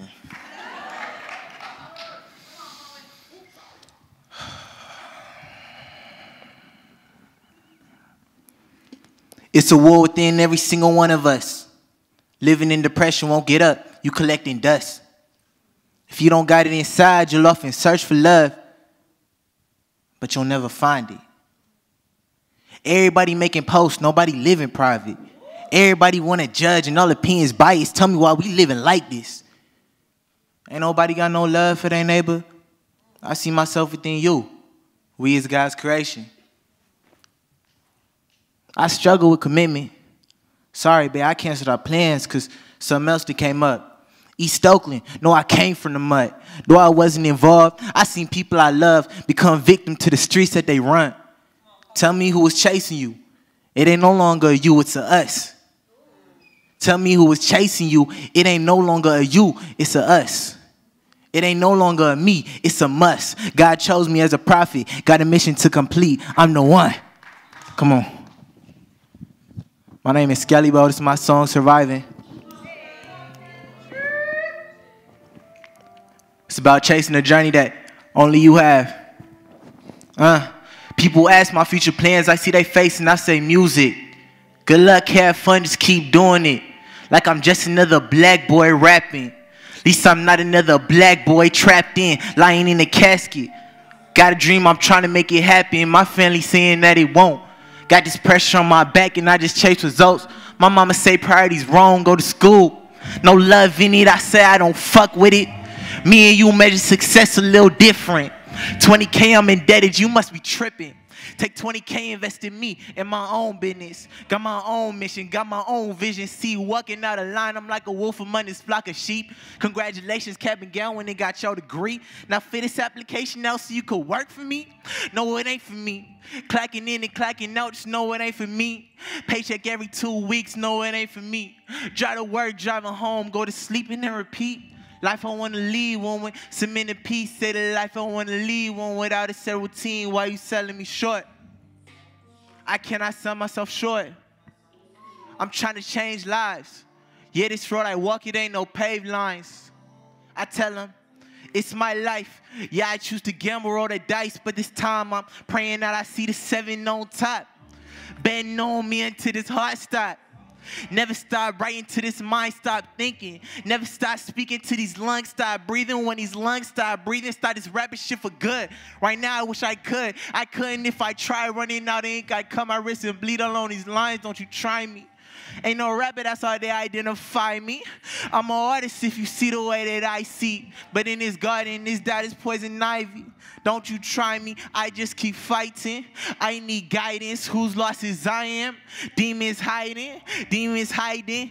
I keep fighting, I keep on trying, I keep surviving, I keep surviving. Saying I keep surviving, I keep surviving, I keep surviving, no. I keep surviving, uh. I keep surviving. I keep surviving. Uh, 99 and 99, uh, 99 and 99. If you survive and clap with me, 9 and 99, uh, 99 and 99, uh, 99 and 99, 99 and 99 and 99, 99 and 99, 99 and 99. Uh.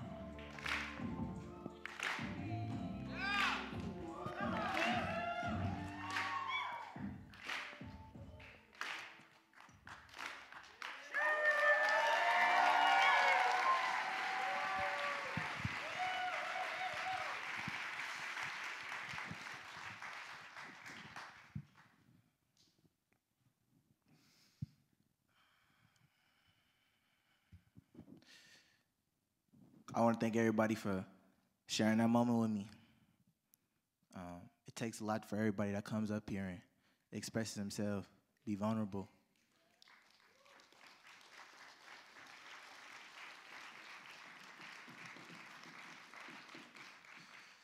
Um, I'm not ignorant to I'm not ignorant to life.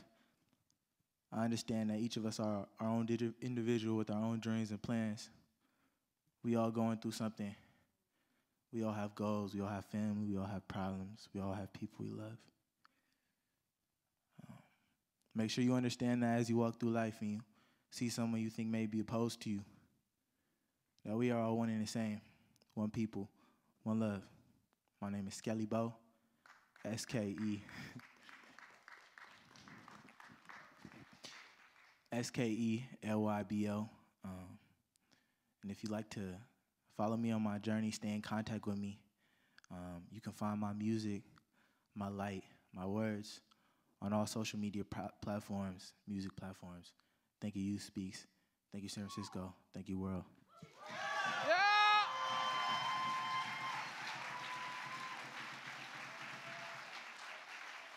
Y'all give it up for Skelly Bo one more time. That's what I'm talking about. Y'all see at Youth Speaks, we got it all. We got rap, we got dance, we got poetry, we got intention, we got intellect, we got inspiration over here at Youth Speaks. Okay? Y'all want a piece of Youth Speaks? Follow us at Youth Speaks on Instagram. Um, period. all right, y'all ready for round two? Are y'all ready for round two? All right. Next up on the microphone, we have our top eight. Make some noise for our top eight. In no specific order right now, I want you to clap it up. Hey, I'm just saying these boys' names and I want y'all to give love. Is that cool? Give love, all right? Hannah, make some noise. Selma, make some noise. Zochi, make some noise. Mallory, make some noise. Joe, make some noise. Leanne, make some noise. Olivia, make some noise. And Marvin, make some noise. All right, all right, all right. So, before we jump into round two, I want to make sure I give a shout out to one of our, our highest gifter of the night. I don't know if y'all forgot, but this is a Poetry Slam fundraiser, concert, hip hop takeover things over here at Youth Speaks, okay? So we asked for our highest um, gifter. We'll get a special VIP gift, Mimi, after the show. I want to bring up Shelly Metamonte. Shelly, where you at? Hey, Shelly, coming up for Shelly. Thank you, Shelly. You will get our first VIP gift of the night, but it does not stop there. If everybody in this room gave $5, $10, we will reach our goal. Dig into your phones. We accept Cash App. We accept Zelle. We accept Venmo. We accept personal check. We accept cold, hard cash. We accept WIC. We accept EBT. We accept all those things because we need to eat as well as we need to get free. Amen? All right, so next up on the microphone. No, no, no. Hell, we not starting round two like that. I want y'all to get up on y'all feet. Get up on your feet, get up on your feet, get up on your feet, get up on your feet, get up on your feet, get up on your feet. Stretch, reach to the heavens. Stretch, reach to the heavens. Reach out to your side. Don't hit your neighbor. Woo! Let me hear say woo! Woo! Let me hear say period. Let me hear you say period. Let me hear you say lemon pepper wings. Say lemon pepper wings. Now I want y'all to give all the energy y'all just expounded out to round two. Make some noise. There we go, there we go, there we go. Next up on the microphone. On deck, we have Marvin. But coming to the stage right now, I want y'all to give all your love to Olivia.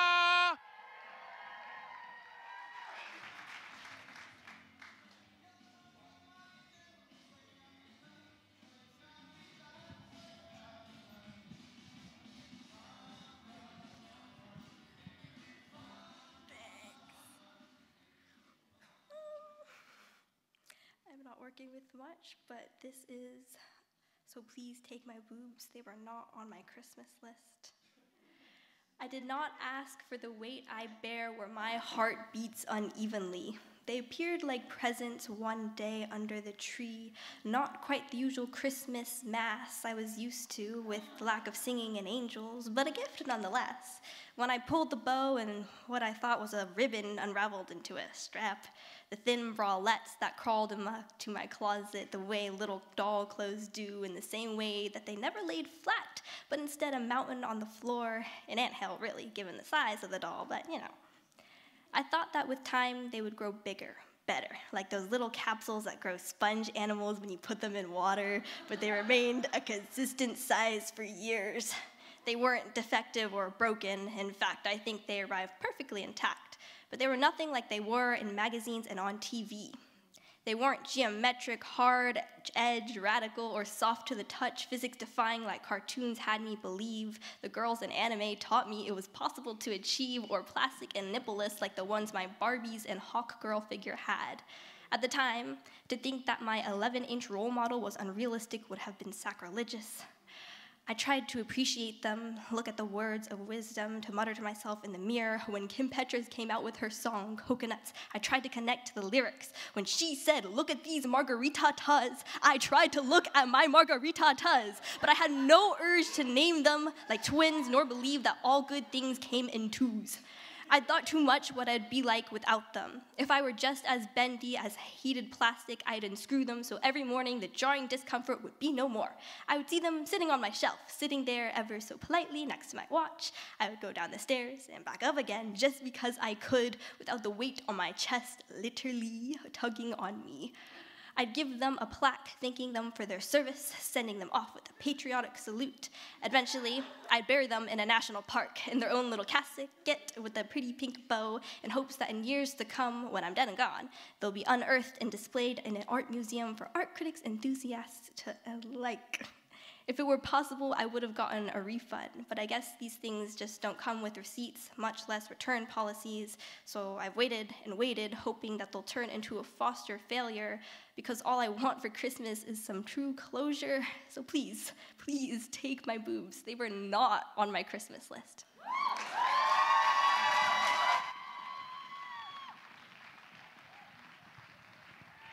Give it up for Olivia. All right, judges, get it right, get it right. All right, y'all. So I just want to remind y'all the ways that y'all can show love to the poet. I want to see a snap. Hey.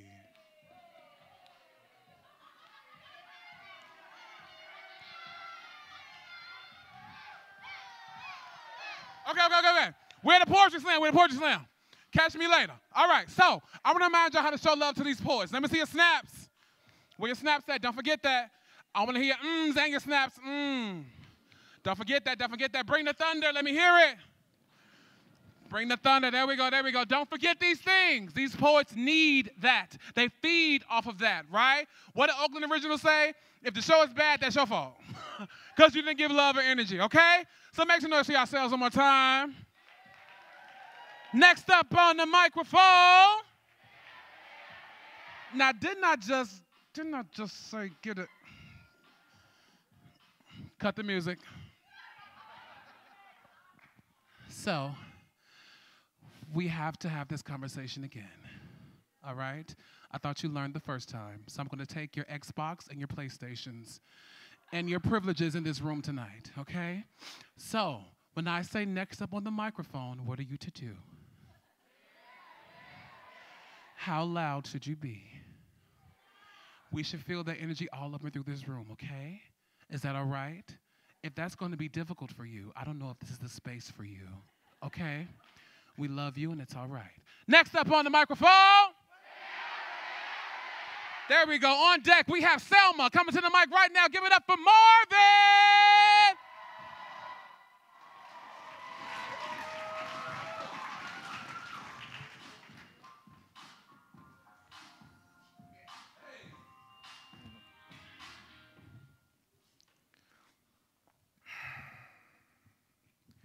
How much love will follow if I question your faith? Tell me, how much love will follow when you hear me say, you're praying to fantasies? It's sad to see. Abuela said, Thank God for all you see. I see generations of lost men lacking maturity, born a calamity, overcompensating masculinity just to prove their validity. Toxic culture, born to share trauma that's catching on us. Stuck in a victim mentality, praying to the same man who sat to see rape and bloodshed at land and sea. See, the rapture was here in the 1500s. Cortez came over, killing hundreds. And at the hands of the captor, I'm straight from a lineage of beaten actors. Told to pick a goddess saint, our minds were captured. Cause you ain't free till you denounce the captor's beliefs. The white man who came in, providing relief, oppressive beliefs to keep him docile and hopeful for the coming of Christ. Losing your old gods was the ultimate price. Forgiveness is your vice, convenient given who gave you that advice. And as I adorn my Jaguar regalia, I'll tell you that man ain't your savior, and God has failed you. Forgiveness must have turned off your vision, or you must not use the television. Because every night I replay the rhetoric when they say, See, I watch your crimes. See, I know they lie. See, the statistics don't lie. You say we see eye to eye, but your ignorance prevails. The veils that prevent, veils that prevent you to see I'm bright. Hmm. Du Bois was right. Veils that surround you front to back and left to right. Du Bois was right, huh? Even with your veil torn, you'll disregard our fight. How we excel while your government wants to see us fail. Like take them leaders out of jail, cracking the community, you know it well, huh? White demon you can't expel. You'll writhe when Jesus arrives.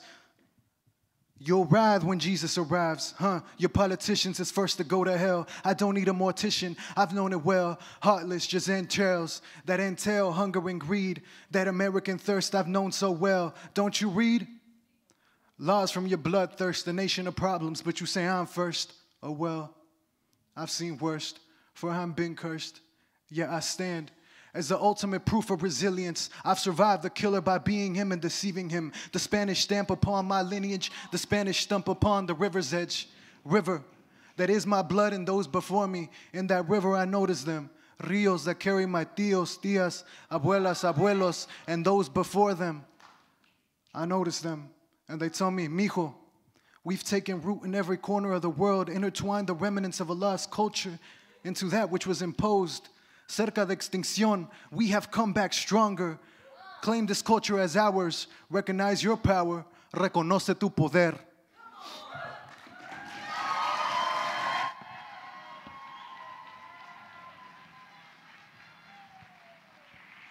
Give it up for the poet Marvin. All right, all right. I, I heard y'all giving love. Keep that energy, keep that love going. Next up on the microphone.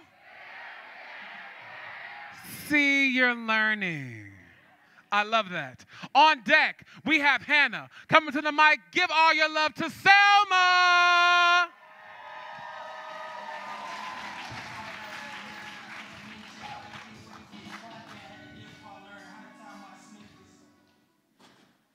Content warning for mention of rape. Recently, I have been constantly saying I'm sorry to my mom's strawberry freckled face. And I realized my words hold little weight if I keep making the same mistakes. Our world is saturated with apologies that are hollow like the wood of a dying tree. We aren't gambling with risk when we repeatedly hurt the ones we love because we expect their forgiveness. Similarly, our world relies on the power of eloquent yet empty apologies to cover up atrocities. We produce 35 billion tons of CO2 each year and hope that our apologies will cleanse our dirty air and convince the earth we still care. For every single apology heard by the ears of women who are raped every two minutes in America, not a single one could ever hold enough weight. The world sits back watching old imperial powers uninvitingly invading countries like a disease and leaving them with a common symptom of corrupted and bankrupted governments. Their apologies and fa false promises of new policies will forever fall upon generations of deaf ears. Even now, when more than 33,000 Palestinians have been murdered, the world says sorry from the comfort of their seats in the stands. If only the world could see that one sorry doesn't erase the gutting pain of grief. I don't want more people to apologize. I just wish they would open their eyes because I'm not God. I don't need to hear your repentance. I just want to see you try to fix what you broke with more than a single sentence. That's how your apologies will ever receive true acceptance. We need to give up on mining more oil to fuel war and just plant some more trees before dead bodies become the only thing on the earth's floor. We have to deconstruct systems of power people abuse and re engineer democracy so our history can start to fade like an old bruise and not fester like an infection. Stop sending weapons and start sending more aid because saying sorry after a genocide means the sorry was planned to be too late. Someone once told me the terror in Gaza would never end, could never be stopped.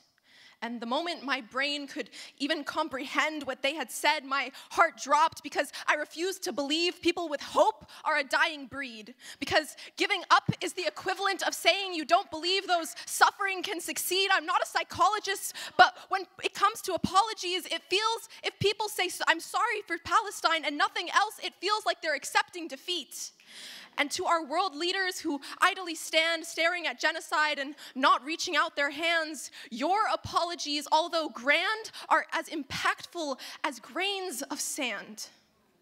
Now, I don't mean for you all to misunderstand.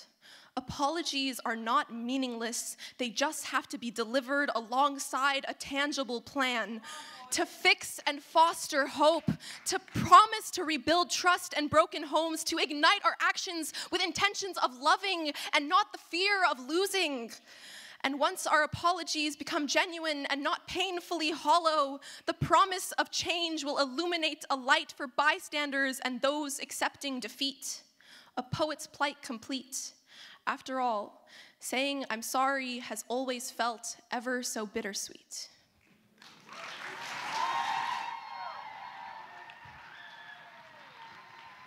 Y'all give it up for Selma.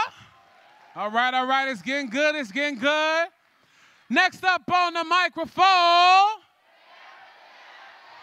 Ooh, next up on the microphone.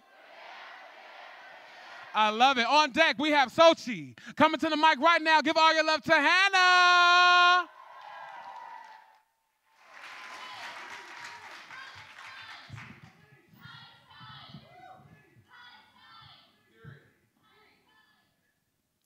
A plain white notebook, empty, blank. Ideas flow from the pen, and it's not my mind moving, it's my hands maneuvering on the page, lines and dots singing on the page, from blank to filled, drawings on the page. I draw, I write, I sketch and scribble. The page is my domain, erasing any pain, trying to catch my thoughts as they run rampant in my brain, connected to my performance.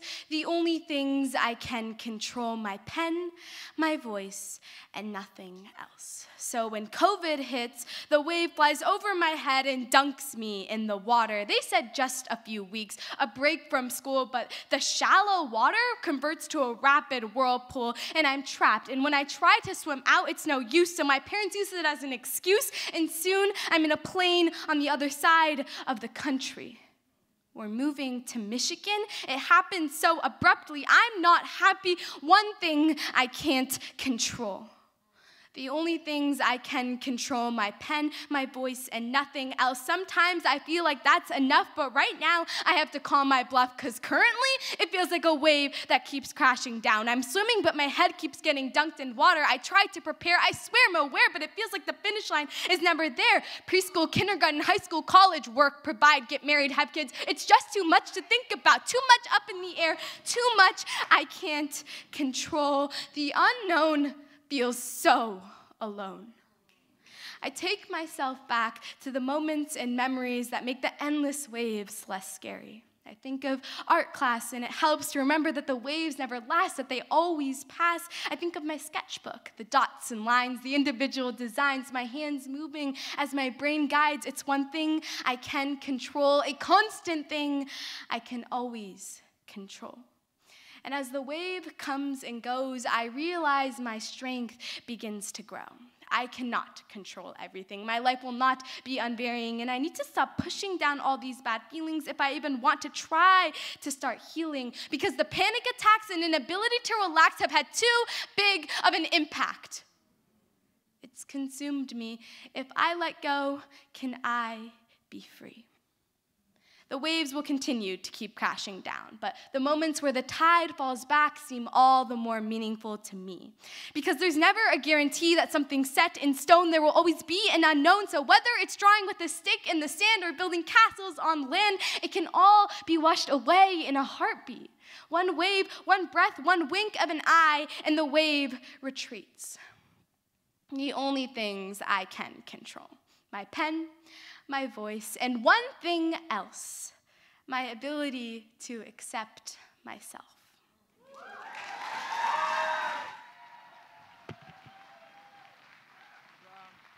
Give it up for Hannah! Period, period. We have some amazing poets tonight, y'all. We've had amazing poets across all of the slams. Y'all give our young people a round of applause one more time. Again, it doesn't matter who wins, who loses. What matters is they're getting free through their poetry over here at Youth Speaks. Follow us on Instagram at Youth Speaks. Thank you so much. All right, next up on the microphone. Don't lose it. Next up on the microphone. On deck, we have Mallory. But coming to the stage right now, give your love to Zochi.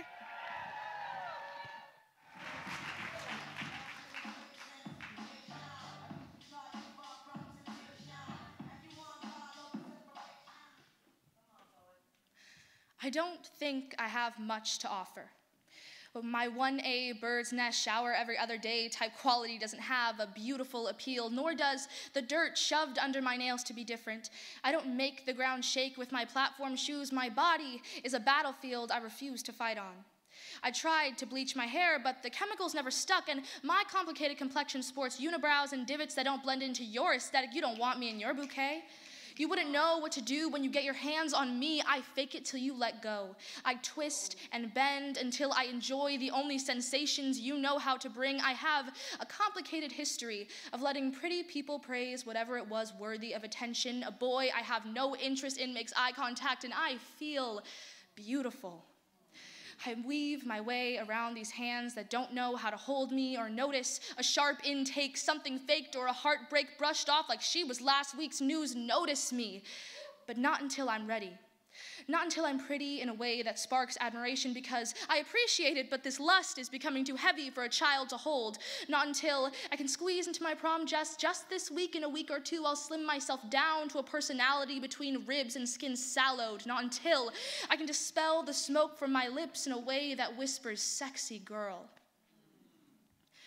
Love me from the rooftops in a whisper only I can hear Shouted for someone who didn't need subtlety in the first place. Appreciate quietly my quality, the way I built myself from cigarettes on curb size, boring interests, size two dreams, pocketed panties, chipped nails, cherry blood, lip gloss, sour shit.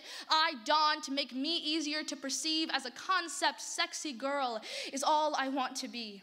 The pretty people privilege and praise you will never regret giving the ugly girl a chance. Ugly girl is funny. Ugly girl gives up late night sober to live life fuller. Ugly girl is easy pickings for boys like boys can be.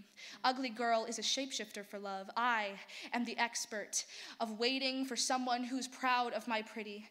I will know how to be beautiful for my love when they find me. I've practiced on fleeting faces and hands that wander without substance. I've subconsciously woven them into boxes of poems and hopes that I keep secret under my bed. I will find this love while walking down the beach in the middle of the night.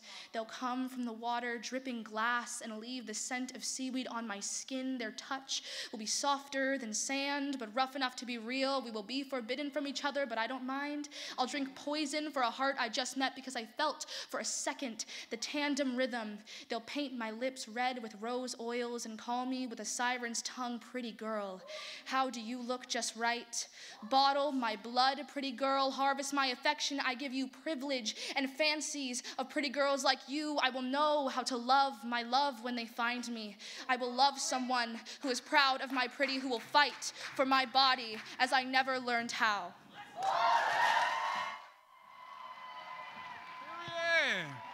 Make some noise for the poet, Zochi! Period. Shout out DJ Ignacia. All right, so I have a very special announcement for y'all. Are y'all ready? Y'all sure? Y'all want to hear some good news? For the first time in Youth Speaks, no, I'm playing. No, but y'all did what I asked y'all to do. We have successfully raised $3,146 tonight for Brave New Voices. Make some noise for all of y'all in the house, all of our gifters. Thank you so, so much. That money goes directly towards our young people as we prepare for the Brave New Voices Festival that is themed Femme and Fierce after our amazing Sydney M. Edwards. Make some noise for y'all. So, next up on the microphone, on deck, we have Joe coming to the mic right now. Give your love to Mallory.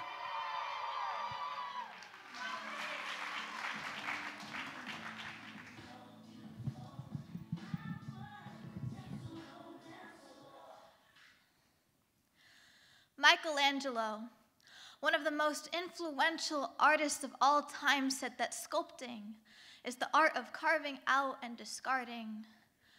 Anorexia, one of the most influential artists of all time, said that starving is the art of carving out and discarding. Our audience always views our creations incorrectly. This is not about aesthetic. This is artificial anesthetic. This is carving away life in hopes of finding death at the center. Pretty isn't on our to do list, neither are groceries. We're just striving for a body we're willing to stick around for. We're not wearing rose colored glasses.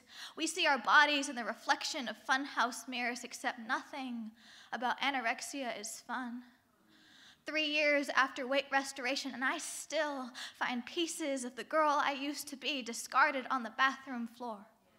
I still don't know how to get rid of the numbers and calories circling around in my brain. I thought that chipping away at my body would chip away at the memories plastered on my mind. I thought cutting calories to shrink this body would get rid of the flesh that had been t- untouched by unwanted hands, but some things are too permanent to be cut out. Sometimes the chisel isn't enough to break through a lifetime of hurt.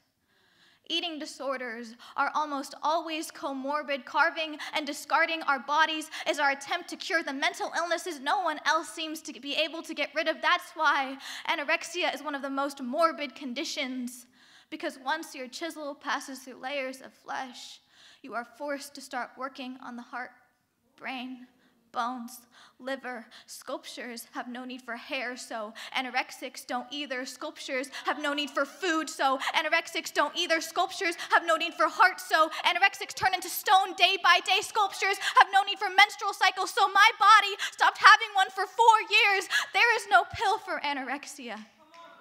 Recovering from anorexia is fucking work. Recovering from anorexia is adding instead of discarding, which is fucking hard when everyone has told you to, to subtract everything uncomfortable in your life from the equation. I realized today that anorexia is not an art form, it is destruction. The goal of your project is complete when your sculpture is not a sculpture anymore when all the flesh has been chipped away to reveal the lifeless corpse at the center. That's why they say the best anorexic is a dead one.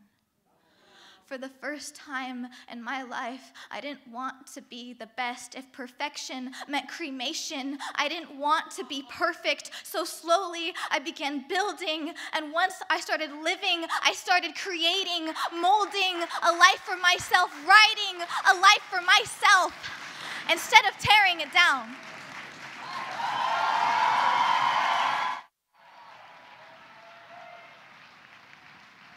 Bring the thunder, bring the thunder, bring the thunder, bring the thunder. Give it up for the poet Mallory one more time. Wow. I hope you understand the amount of courage and bravery it takes to literally share your soul in front of family, friends, and strangers. Make some noise for that, y'all. This is not easy shit. This is not easy for these poets. And I need y'all to understand that, right? It takes so much courage, so much bravery. Shout out to every poet that's touched this mic. Clap it up for them one more time. Amazing work, poets. So we're almost at the end of round two. So next up on the microphone. Wait, I'm sorry. Before I say that, our top six poets will be going on to compete at Brave New Voices, the International Youth Poetry Slam Festival in Washington, D.C. The top six poets will also receive a cash prize courtesy of Youth Speaks.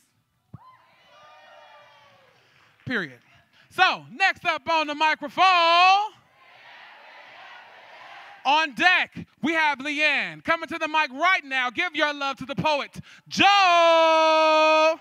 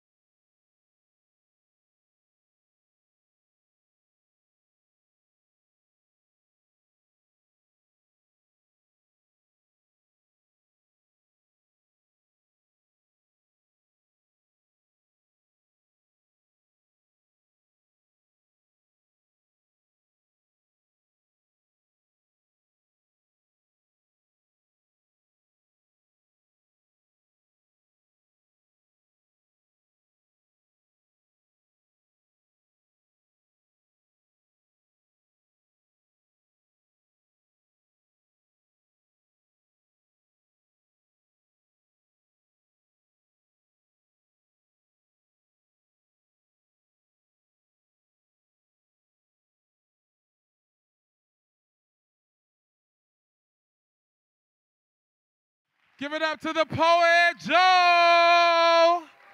Wow, wow. We said we're sharing truth, we're sharing power here tonight at the Teen Poetry Slam Finals. So, we've come up to our last poet in round two. We're about to find out our top six in a few. So, next up on the microphone, it's the last time, make it count. Next up on the microphone, make some noise for the last port in round two, finishing off Teen Poetry Slam Finals. Make some noise for Leanne.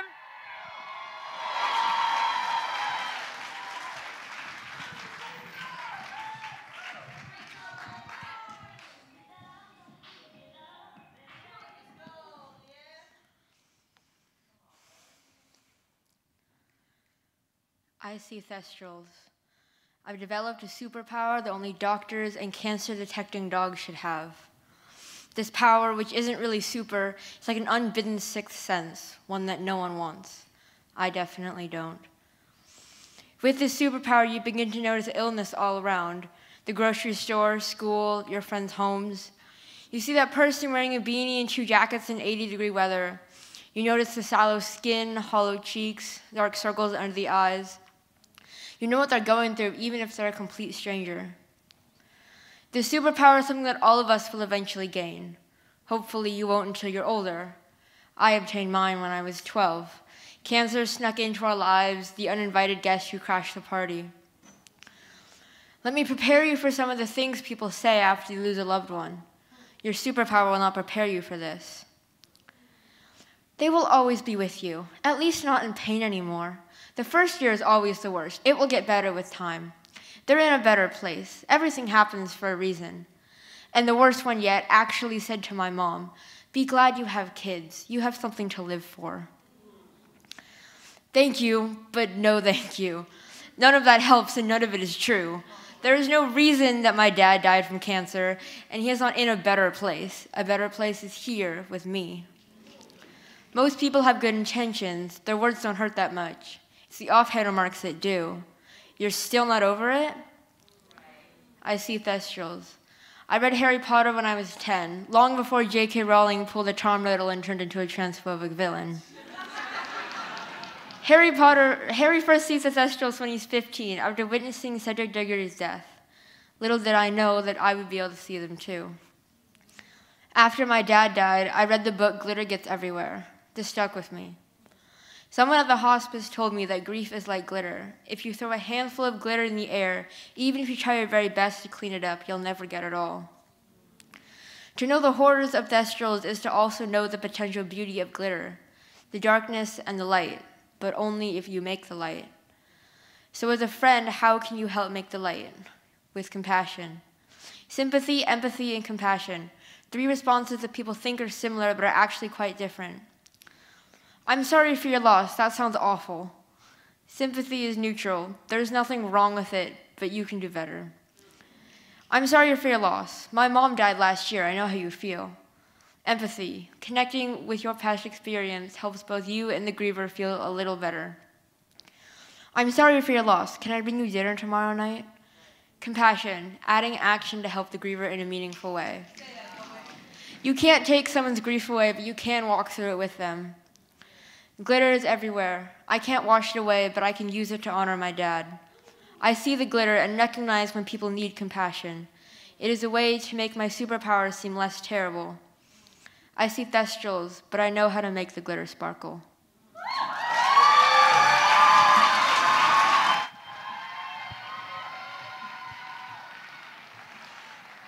That is the end of round two of Teen Poetry Slam Finals. Amazing, amazing work, poets. Thank you so much for sharing your truth and your honesty and your bravery on this stage. We love you. We appreciate you. Thank you so much. So, Gretchen, what's Tigre? Hello, hello, hello, hello. Y'all remember me? Hi. What's good? What's good? Wow, the judges was judging, okay? In the best ways and the worst ways. You will never know because it's none of your business. You feel me? But we was having a great time. How y'all feel, judges? Y'all good? Amazing, amazing poems. But are y'all ready to hear just one last poem? Cause you know, you know, I, I'm not a STEM girly. You feel me? I need a little bit of time to calculate. So I want you guys to hear. I mean, are y'all trying to hear just one more poem? Is that cool? I don't know if you guys are ready because um, you're about to hear from a Chicago legend. You might not know, but you've been getting kind of roasted by this person this whole night. You feel me? You've been kind of getting scolded, but you were into it because we're, you know, we're, we we love feedback. You feel me? This person is a multi-dimensional, multi-talented artiste. Okay, not just an artist of word, but an artist of the body, of the movement, of the culture, of everything. This person is my twin them, and I know that they do everything with what intention and love, and representing everybody that's upon their shoulders. I don't think you're ready. I need you to make some noise for your wonderful MC who's about to bless y'all right now. Make some noise starting right now. Starting right now. Starting right now. Starting right now. Give it up for Darius.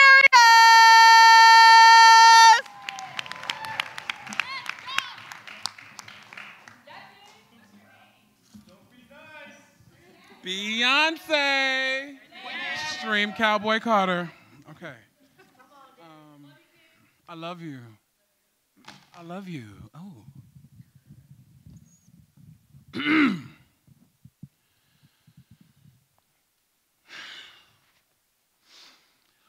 Oh, oh, oh, oh, freedom. Oh, oh, freedom. Oh, freedom over me. And before I be a slave, I'll be buried in my grave and go home to my Lord and be free.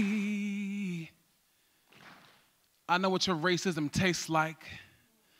The bitter tingle of sweat and blood, much like the colored only water fountains we used to drink from, swallowing desert and lie like molasses chains, mirror that which were used to bind our ancestors, cold like metal, hot like whip on back. My name is not Toby, my name is not inmate 8685931. I am not defined by number, I'm what your racism sounds like.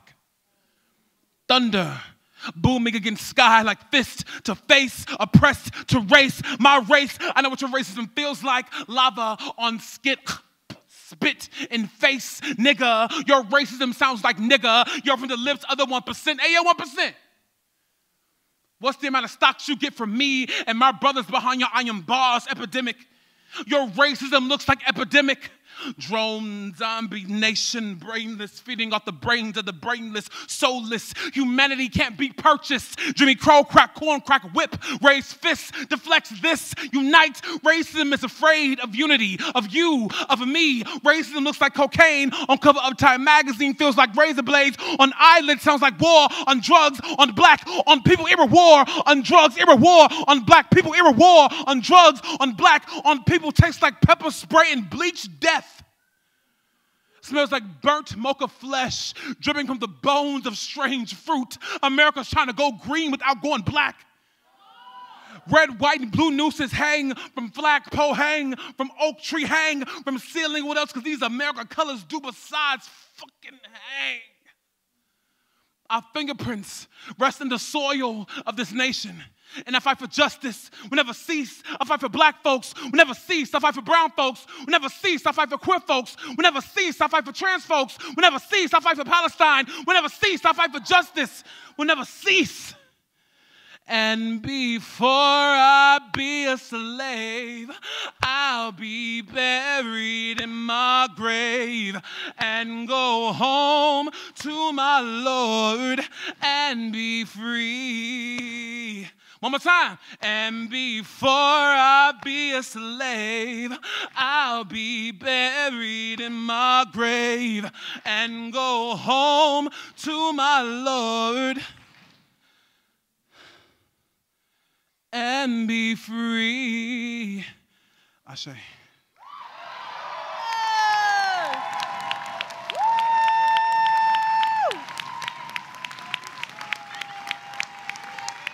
Yes.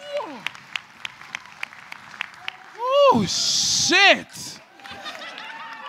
You know, poets, when you get up there, Whew. Okay. I love y'all so much. but it ain't about me, it's about our young people. So give them a round of applause one more time. Whew.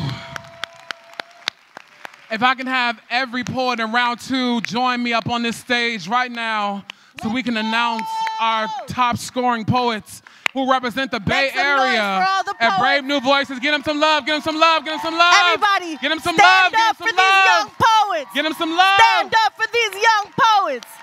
Stand up for these young poets. Before I even reveal to y'all who your Brave New Voices team is, everybody put two hands up and give good energy this whole time, y'all.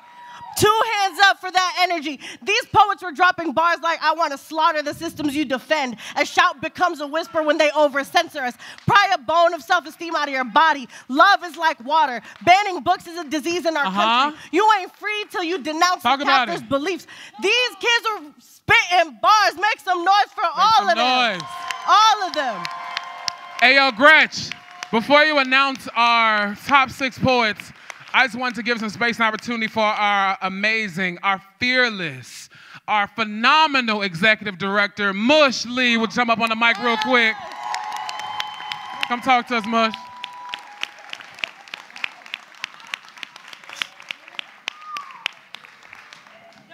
And she's a baddie. Like. So I really thought that I wasn't going to be on the mic, so I was really chilling. I was like, oh, good, they skipped over my part. Um, can we please give it up for every single young person that touched the stage? Every single. And if you are not on your feet and you're able, I want to invite you now to please rise. Please give all of your love, whatever energy you got left in your body for these poets. Take it in.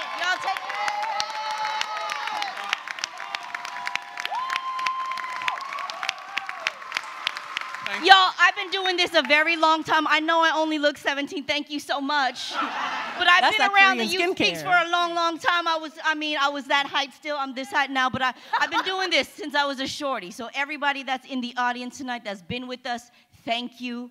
Um, there was a time when we weren't sure we were going to come back, you know, like a lot of organizations uh, in the country. We're so grateful to even be here. Y'all feel me? Yeah. Like we are grateful to be here. Let me say, I'm not going to say a lot. First of all, thank you to everybody who gave. We, we, we, we reached the goal. I want to remind or, or let you all know that there is no, and I don't know if y'all know this, but there is no poetry festival in the world that gathers poets and writers that are young. Ever in the world. This summer in DC, Youth Speaks is the only organization that's curating and bringing folks from 22 cities across the country, 250 poets. Make some noise for that. Make Give some it up for noise. that. I hope to see all of you guys there. The last thing that I'm gonna say, if you don't know, I'll, I'll let y'all know our mission. We are about creating safe and brave spaces for young people to find, develop, publicly present, and apply their voices as agents of change. Paul, I still got it. Paul Flores, one of our founders, is in the house. I still got it. But this is the last thing I'll say. As you know, as time changes, yeah, you know, we've been around 28 years. Um, I just want to remind everybody this. If you ever come back to a Youth Speak show, please know the intention is not for you to be entertained. Yes? I'm going to say that one more time. At, this, at the risk of everybody here hating me, that's fine. Love them. You can hate me. The, the intention is not for us as adults and audience and listen, listeners to be entertained. The intention is to bear witness to young people when we are at home freaking out because the world is in shambles and we're having panic attacks and trying to figure out what to do, they are the ones who are scribing right now what we need to be doing tomorrow. Y'all feel me? I just need to remind everybody of that. In case, in case y'all thought tonight was a poetry show, it's not. So, one last time, thank you everybody for being here. Thank you to every teacher. Thank you to every mentor. Thank you to every parent, every sibling, every homie that's in the room. Thank you to the Youth Speaks old heads that used to be this young and now have white hair. I see y'all. I won't point you out, but there's some of us. Um, and thank you to the judges, y'all. Thank you. Thank you. And I don't get to say this enough, Derry, but um, eh, you know, like, can we, can I, can I, can, can this room please uh, put your hands together for the staff of this building? It is, be, it is, yes. You know, 28 years ago, it was like, how do we bring young people of color into dignifying spaces like this? And last but not least, if you are a Youth Speak staff person, can I please invite you, not to stand because we all standing, but can, can you just wave to us? Everybody give it up for that phenomenal Youth Speak staff that makes this possible. Okay, everybody, I see it. Everybody's like, Mush, get off the microphone, man. Who gave Mush the microphone? I promise you I'm gonna go off, but this is how much I love this. This is how much we love this. These, these spaces are so, so sacred, y'all, yeah? In a moment when it's so easy to be in the living room, you know what I mean? And it's like not come out. This is what brings us together art, culture, community. So give it up one more time. Thank you, everybody. Thank you, From the Mush. bottom of our hearts. Thank you, thank you. Also, before we jump into our top six, we're gonna put a QR code up for a survey. Take the survey. Period. Take the survey. Period. Give us your responses. Rank us all fives or meet me outside. It's okay, okay. Don't rank us all five. But we need to hear your feedback. You help inform our events. You help us punch granters in the head and they be like, well, we don't know if we want to fund this. but we got testimonials from each and every one of you in this space, okay? so This stock please, scan the so QR funny. code. The stock photo is sending me, but go off. Scan the QR code. Give us the feedback so we can inform all of our future events and programs. Yeah, is that cool? Yeah. All right. I know y'all ready to hear the top six? Yeah. You ready to hear your brave new voices, team, y'all? Make some thunder with your feet. Make some thunder with your feet, y'all. Come on.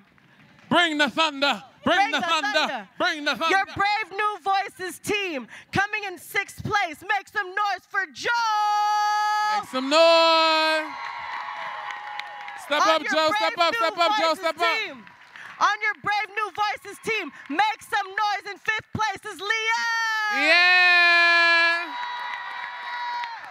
On your BNV team, going to DC in fourth place. Make some noise for Marvin. Marvin.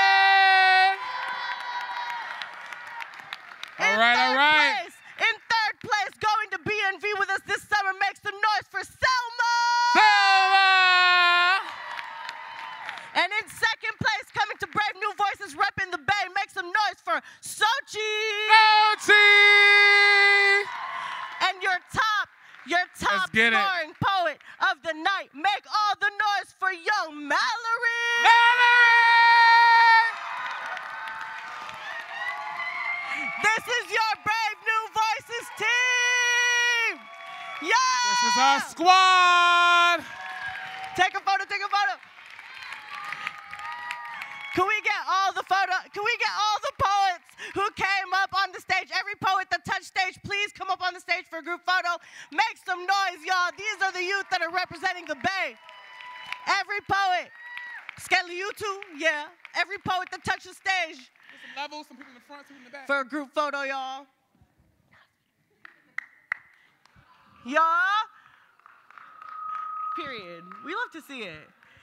And just so y'all know, if you haven't been to any of our writing workshops, any of our other open mics, please know that there are other opportunities for Youth Speaks. Make sure you follow us on Youth Speaks Instagram. If you missed any of the parts of this, we had it all live stream on YouTube, period. Send it to your homies. Yeah, yeah. Thank you so much, y'all, because the next generation speaks for itself. Period. Y'all been amazing. Have a great night. Take that survey, and we'll see y'all when we bring the crown back to the Bay from DC.